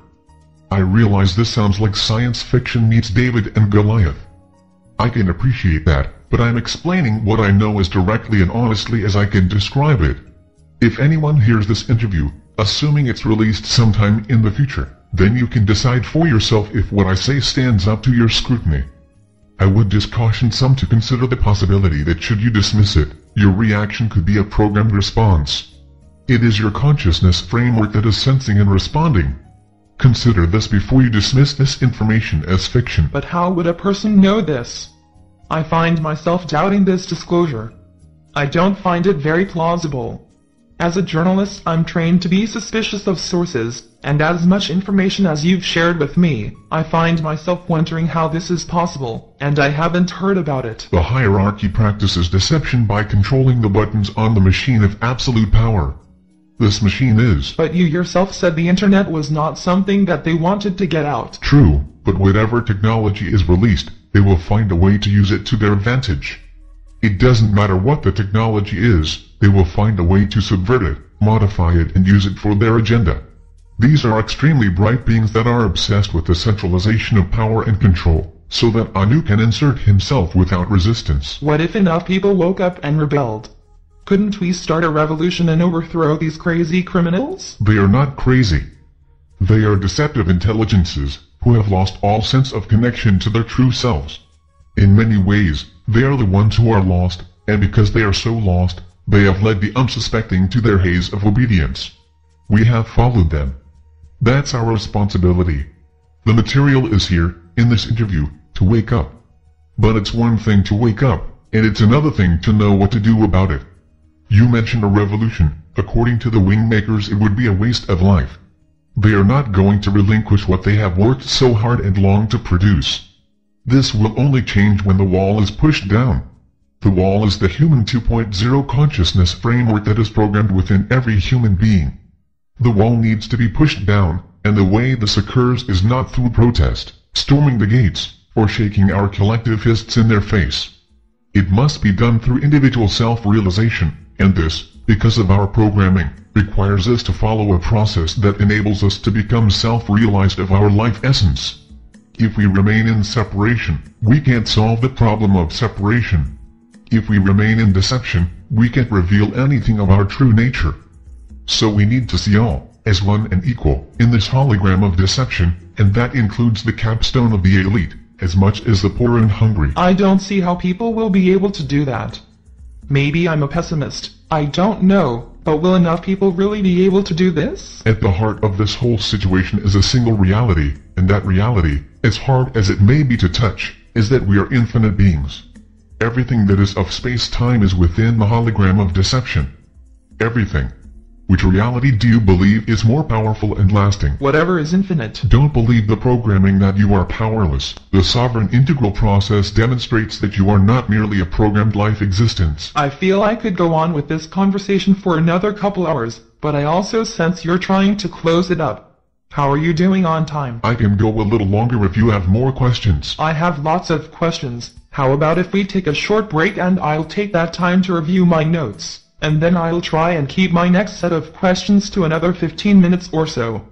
How does that sound? Sure, that's fine. Great. Then we'll begin in 10 minutes. The tape is rolling again, and I've got my questions.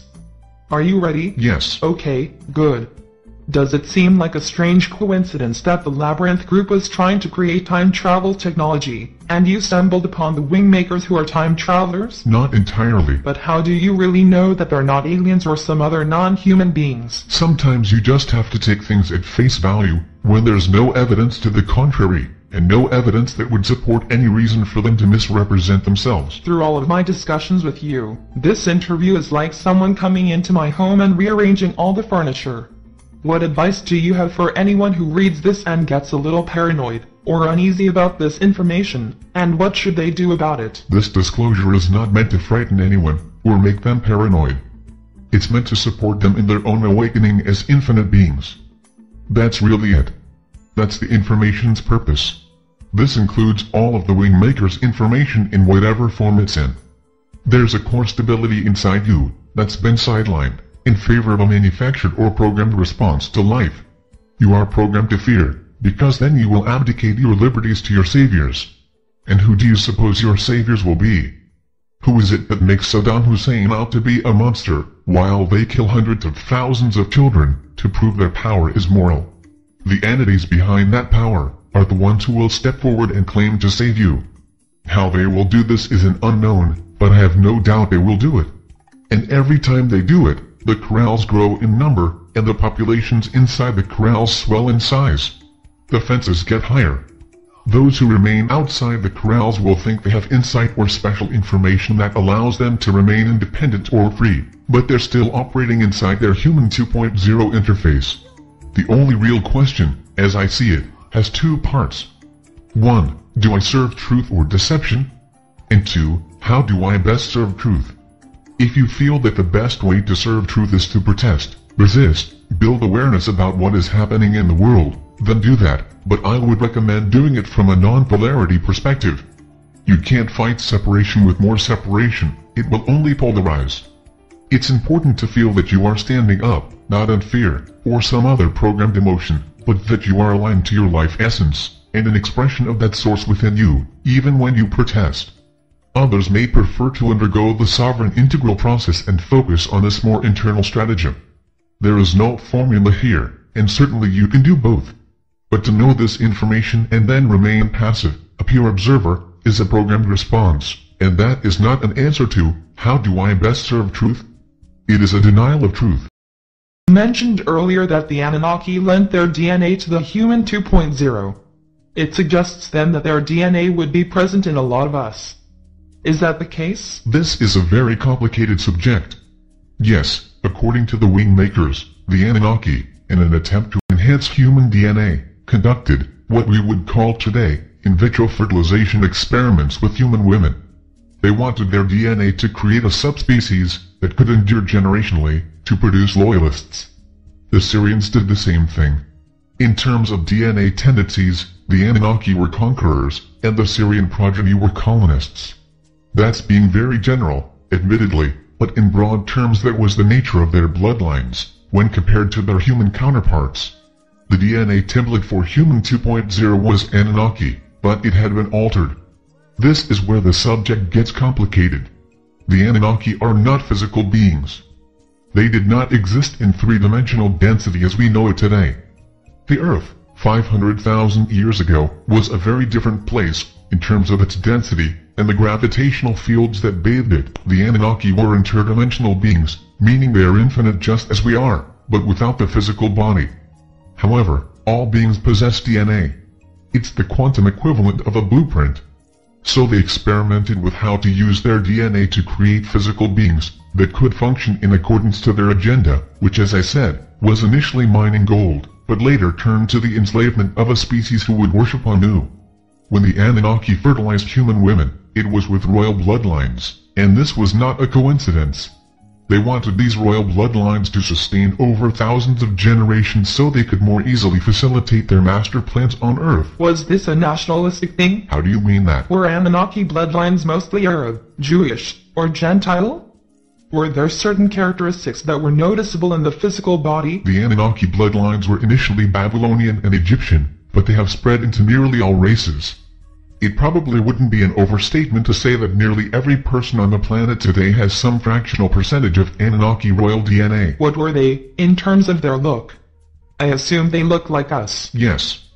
It was Atlantean, Anunnaki and Sirian body styles that were effectively blended to create the human 1.0 prototype. All of these beings, though less dense, looked similar to a human form. Races did not intermingle, as they were very cautious not to intermix their DNA because they were uncertain of the effect and how it might pollute or mutate through their genetics. But remember, the human physical body was an experiment, and they literally looked at it as physical protection, just like we would look at a spacesuit. None of these races lived in the density of Earth, or an Earth-like planet. They didn't realize how Earth would interact with their creation and cause it to evolve in directions that they couldn't control or predict. Earth, as I previously said, was like a random variable, imposing itself on the human body through its gravitational fields. The interbreeding between Anunnaki and human women took place around 6000 BCE, and it was a designed event, not some lustful dalliance with the daughters of men, as it is sometimes portrayed in Sumerian texts. This was part of a design to place a subspecies within the human race that would conquer and control the Earth's resources. It was to consolidate and centralize resources for Anu, and to ensure that the world's wealth could be placed into his waiting hands when he returned. The whole thing about LERM, light encoded reality matrix, and how the Labyrinth group had seen it as God. I don't understand that if 15 had read the same information as you, how he wouldn't have come to the same conclusions as you. I know you mentioned that you had additional contacts with the Wingmakers, and this convinced you of the authenticity of the information, but why do you think 15 clung to his perspective? You can look at LERM as the connection between the Earth plane and the non-physical planes of the hologram that Anu constructed inside our functional implants. LERM was the connective web, and it was bidirectional, meaning that Anu could be projected into any being's consciousness framework to be seen or heard, and it also meant that Anu could detect and view into the life of an individual being. LERM is known as the White Light, and the Great White Brotherhood is known as its guardians. They appropriated Jesus and Buddha as their foundational pillars, stole the concept of I am, matched these elements with the white light that had been a factor in every religious, occult and esoteric doctrine throughout time, and announced in the 1950s that the Great White Brotherhood was a real organization. Soon after that, ascended masters began to join the swelling ranks, as human channelers began to be the spokespeople of these entities. From the Wingmaker's perspective, these entities are fixtures of the polarity plan to keep human beings firmly anchored in separation, distraction and deception. What does this have to do with 15's decision? Sorry, I got a little sidetracked. 15 knew of the Great White Brotherhood. It's considered a very important element in the overall hierarchy, very near the capstone of the elite or what I earlier called the incunabula. The Great White Brotherhood was seen as a means to bring occult or secret information to the planet, and it was designed to balance the movement of secularization, which was to essentially rid the planet of religion and bring science to the stage. 15 was not sufficiently convinced to make a break from the incunabula and the Great White Brotherhood. He preferred to view LERM as proof of God and leave his world intact. This is not, by the way, an uncommon reaction to this information. And intellects, as brilliant as 15's, will make this choice to stay in the known world instead of venture into the unknown. In 15's case, he had too much to lose. Why did the elite want to get rid of religion? First, I want to correct you on your choice of words. It isn't the elite, as most people think of them. The vast majority of the elite are corporate citizens, financial managers, government managers, political heavyweights, military commanders and the like. They are not making these decisions.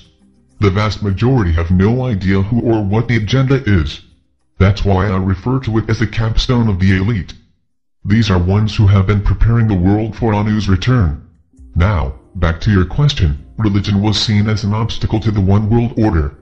The quantum world of science was flexing its muscles, disproving key elements of religious doctrine, and it would, if left unmanaged, verify the hologram, but not the deception. The Great White Brotherhood was launched to the public in the 1950s, just as the quantum world was beginning to signal its stature, but it goes back to the 18th century when it was referred to as the Council of Light, and even before that it was a concept held in many secret societies. The idea of ascended masters, communicating with one another telepathically, and instructing and guiding the affairs of men, gained some popularity with those who were disenchanted with organized religion. To be fair, some of the channeled information did come from beings that were considerably more informed than the average man, and they could bedazzle most people with their superior knowledge of the cosmological order and the structure of things relative to God but their description and explanation was founded in the hologram of deception, while these masters supposedly channeled the secret or hidden knowledge to their selected students, who then wrote books and created organizations. This information continued to separate the worlds of light and dark, good and evil and those in the know from those who were not. They use words like love, ascension, truth, and God more liberally than organized religions, and God was always portrayed as a loving, congealing force, angels and cosmic beings were also associated with these organizations. They not only appropriated symbols and constructs like the soul and eternal life, but they also created the ladder of consciousness that stretched into infinity in which the student was forever trying to learn more to progress higher on the ladder. The elevation of one over another. This was the key concept of the separation tactic of the Great White Brotherhood and frankly, all secret societies. Create divisions of knowledge, add a ritual or two, and promise more power and awareness as you, the student, walk the path. They don't talk about how to deprogram from separation, instead they reinforce it. You've shared information in previous interviews about the central race. In my notes, You even said they were responsible for our DNA. Are they the Anunnaki? No. No, you have to define DNA in two ways. One is the human instrument or body, emotions and mind system, and that stems from one system of DNA, courtesy of the Anunnaki and Sirians mostly. The second is the infinite being inside the human instrument, which is also based on DNA, which is the quantum blueprint of the sovereign integral consciousness. The latter is the DNA developed by the central race. In the second interview you made some pretty big claims about the seven sites of the Wingmakers being a defensive weapon, and that this somehow related to the individual's experience of the Wingmakers materials. In light of this disclosure tonight, can you explain how this works? The entire import of the Wingmaker's disclosure is about the sovereign integral, and how humanity benefits when the state of consciousness is seated within the human expression. The requirement to keep this disclosure in the realm of science fiction and mythology was why I mentioned this defensive weapon. So you're saying this was just a story? That part was. You see, the Wingmaker's materials are, by design, composed of many strands of information. Some strands are storytelling, some are artistic, some are spiritual, some are conspiratorial and some are designed to be factual, coherent disclosures of what is really happening in our world the strands of the storytelling encase the other strands. In a way, they shield these inner strands. I've already explained why it happened this way, and while some might feel it would be easier to just give the facts, if these facts were disclosed now, you would not have seen, heard or read this information. The Wingmaker's materials would have been censored or taken down and discredited. I'm sure there'll be a good dose of that anyway. When and if this interview is released, but the story strand was necessary to provide an acceptable container to release the sovereign integral process. But this concerns me that the information you've provided in the previous four interviews is created, at least in part, as a story. How do I present it to any reliable news source as true? You can't. So then what do I do with it? Either you will release it as a story, or I will.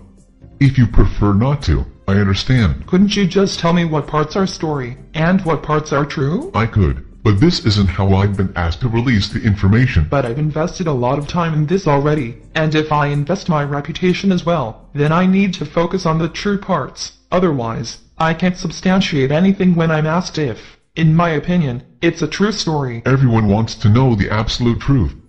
They want someone to point to this phrase, or that precept, or that doctrine and explain to them that that is truth. Believe it. That's been the game on this planet ever since humans began to contemplate their universe in a philosophical manner. All the shared truth has gotten us where? Where we kill children to punish leaders. Where leaders lock people up in death camps. Where religious leaders abuse children. So I would ask you, what is the value of the information that has collectively brought humanity here? You want the signposts of truth. No one can do that, and your proof is that no one has. Why? Because we are sovereign and we must experience ourselves in this way, and not let others decide what it is we should or shouldn't believe, or what is truth or falsehood. I wish we didn't live in a hologram of deception, but that is our human reality, and whining about it will not change it one iota. Studying the supposed masters of truth will not change it either. I can show you a library of books that expound on esoteric information. Some of these books were written as non-fiction, and by all appearances they seem to be credible and insightful, and yet if you listen carefully to the words, you see how they are separating you from one another. How they define a hierarchy. How they define a soul that is always learning, a human that is always sinning and weak. How they describe a universe that is infinitely layered. How the light illuminates those who follow certain practices. It can be very subtle. They can be talking about oneness, but there are judgments present in the words, or recriminations if you don't execute the practice properly, or suggestions that you don't mix this practice with anything else or it is diminished, or join and promote this path over that one. Part of the sovereign integral process is to practice your discernment of what enables you to believe in you, not the universe or some master or teaching, but you, stripped bare of all of your add-ons, beliefs, thought patterns, fears, guilt, stories, judgments, blames, pretenses, everything that hangs on you from the past, if you could drop them all, everything you have been taught and told and programmed to believe, what would be left to hear? Silence. Deep, clear silence. That is you. When you find that, you will then know that everyone has that, too. Anu does, Lucifer does, Jesus does, Your neighbor does. Your spouse does. Everyone. So what proof do you need to find that? What proof can I show you or tell you to give you that? I can't. I can convey a process that if you follow it, you might find this experience inside you, but that's all. The process is free, it only requires time. The process is not owned by anyone. The process is not part of anything but you. Once you stand at the trailhead of that process, it's yours to follow or reject. Everyone must achieve this realization of oneness and equality in life on Earth. That is our call to action as a species. And in my opinion, anyone or anything that tells you otherwise is lost. One more thing, the story strand may be exactly what activates someone to the sovereign integral process, and I think that was the point that the wing makers took with their information. Everything about their work is signaling the individual to the sovereign integral process, and the realization of the grand portal. If Anu is what we have been taught as God, then who is Lucifer? It is precisely for this reason that you have to be sovereign. Because in the world where Anu is God, it is easy to presume that Lucifer is the real bearer of light. But remember what I've said over and over, everyone is lost in this hologram of deception. If all are lost, how can anyone lead you to truth? They can't. The truth is self-expression of your infinite self, in the human form upon earth. That is the closest definition of truth that I know. It may not be the same for you or whoever reads this in the future, but this is my definition of truth. Does Lucifer advocate this? I'm not aware that he does. If anyone is not supporting my truth objective, then why would I let them move me in any other direction, even an inch? You ask who Lucifer is. There are a thousand ways to answer that question, several of them I already have. To add another definition, he is not a polarity of Anu or his puppet. At a fundamental level he lives in equality and oneness, the same as we. Is he awakened? I don't know. I haven't met him. I haven't talked with him.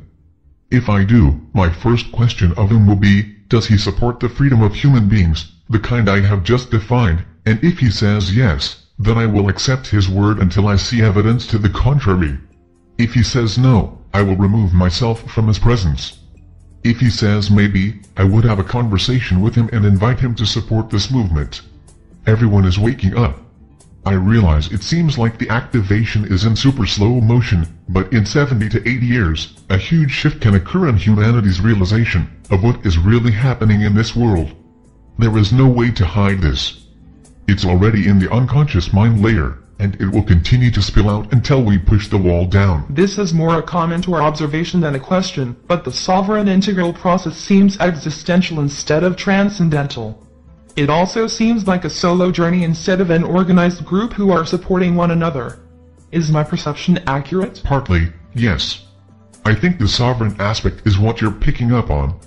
It's an internal process for the individual to develop within themselves, but the integral aspect is a collective, and I don't mean that as an organizational structure. This process needs to be outside of any organization's or individual's hands. It's not possible to own this or control it within an organizational structure. I think people can use the internet and email to support one another. Some will want this kind of support. Others may prefer to be left on their own. Relative to it being existential, yes, it is that.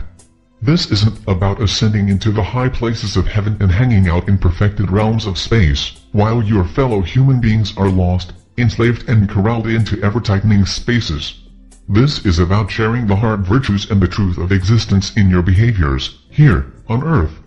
It is about making Earth a place where human beings can express their life essence, without the interference of Anu's hardware and market software, and to tear down the external programming that creates the parents of fear and separation, and all of their children attributes, like narcissism and hatred. If I decide to release this information, do I have to practice it? No. Can I have some time to think about this? How long do you need? Maybe a week. Of course, you can take more if you need it. Are you resigned to the idea that you'll be caught? I'm a realist. I don't think the ACIO will do anything rash. They'll simply do their best to quarantine me. What does that mean? I'll end up in a holding cell, off the grid. What about Anu? Anu is simply a name of the royal leader of the Anunnaki race. His name is symbolic of more than one being, which is the capstone of the elite. You could also look at Anu as the programmed existence of the human race. He exists in everyone to some degree. Anu's presentation of himself is that he's omniscient and omnipresent, and this is true in a certain way, so I have to deal with that reality. Everyone who wakes up and practices this process will meet this resistance in some form or other. But if people hear that they will have to deal with Anu, won't they run from this? Who's going to try and fight that, that machine? From the Wingmaker's perspective, thousands, and then hundreds of thousands, and then millions. The wall can collapse in an instant, when a critical mass is achieved. But won't this be accompanied with hysteria and panic? At one time I thought the Grand Portal was a technological discovery of the soul, and it would be on the internet for all to see and experience in the comfort of their homes. But this isn't like that, is it? No, this is more like a collapse of reality on a mass scale, where infinite beings suddenly find themselves awake inside a human uniform, and wonder what just happened. What if it doesn't happen? What if they win, and transhumanism 3.0 is the new human being locked into a world of separatism? What then? I don't know how to answer that question, other than to say that the information provided by the wing makers is a new inception point, which necessarily means a new path. Maybe it will take more time, but it will happen. It has to. We're infinite beings, and this fact cannot be bottled up indefinitely. I understand, but the whole concept of infinite beings, that's been around a long time. Soul has been around a long time as a concept. How is this any different? Yes, it's been around a long time, but it's been bottled up into three paths. 1. Reincarnation and karma. 2. Be good and obedient and join the ranks of heaven. And 3. Ascend to a higher plane of existence and eventually become a teacher within the hierarchy. The fourth path, though not about soul, is that we are simply human flesh and blood and we have no soul. A person's soul is construed from one of these paths, assuming you believe you are a soul. Each of these paths as I have already says, is within the hologram of deception. They do not lead outside, past the wall, and they certainly do not make the wall less stable. To be self-realized, as an infinite being, within a human body on Earth, decoupled from the controlling human 2.0 interface, is the fifth way. We've been living in a game show that has four doors, where an announcer keeps repeating the instruction, choose one of the four doors, while completely ignoring that there is a fifth door. This new inception point inserts the fifth door option. That's how it's different. I wish I could go on with question after question, but I think this is probably a good place to stop. I agree, Sarah. Okay, good. Then we'll bring this to a close, but before we do, I'll give you the last word. Well, first, thanks for your open-mindedness these past two weeks. Your questions were good guides, and for all your modesty, you grasped this information with great naturalness, which gave me permission to open up. You've served well those who will hear this, so on their behalf, thank you. I feel that I've given everything I was asked to provide. I realize I fumbled around at the start of this interview. I wasn't sure how to bring this out. I also know that some will want more information, but the critical material is here, in this interview. I'm sure there are more details and nuances I could have provided, but then, no matter how much detail I disclose, it would never be enough for some people. This is all about action and behavior, not reading or soaking up information from another person. The glimpse I provided is a good start, and that's all that's really needed for an inception point. I realize this may seem like a fantastical journey of fictional characters and unlikely events, not to be taken too seriously, but in my view, this disclosure of the Wingmakers is their most important. Thank you, Dr. Neruda. What is within us was present before the universe was created. Our inner, pre-quantum core, existed previous to space-time, before any extra-dimensional race enslaved us. We are not weak, or defenseless. We are not mere human beings, with 80-year lifespans. We are infinite, and we are all that is needed to transform reality so that each of us serves truth, because we see truth. Earth is not a playground, or a schoolroom, any more than we are gullible children. There is no new age, or end time. There is only the infinite platform upon which we all belong, where we rise up as sovereign integrals upon earth. James Mahu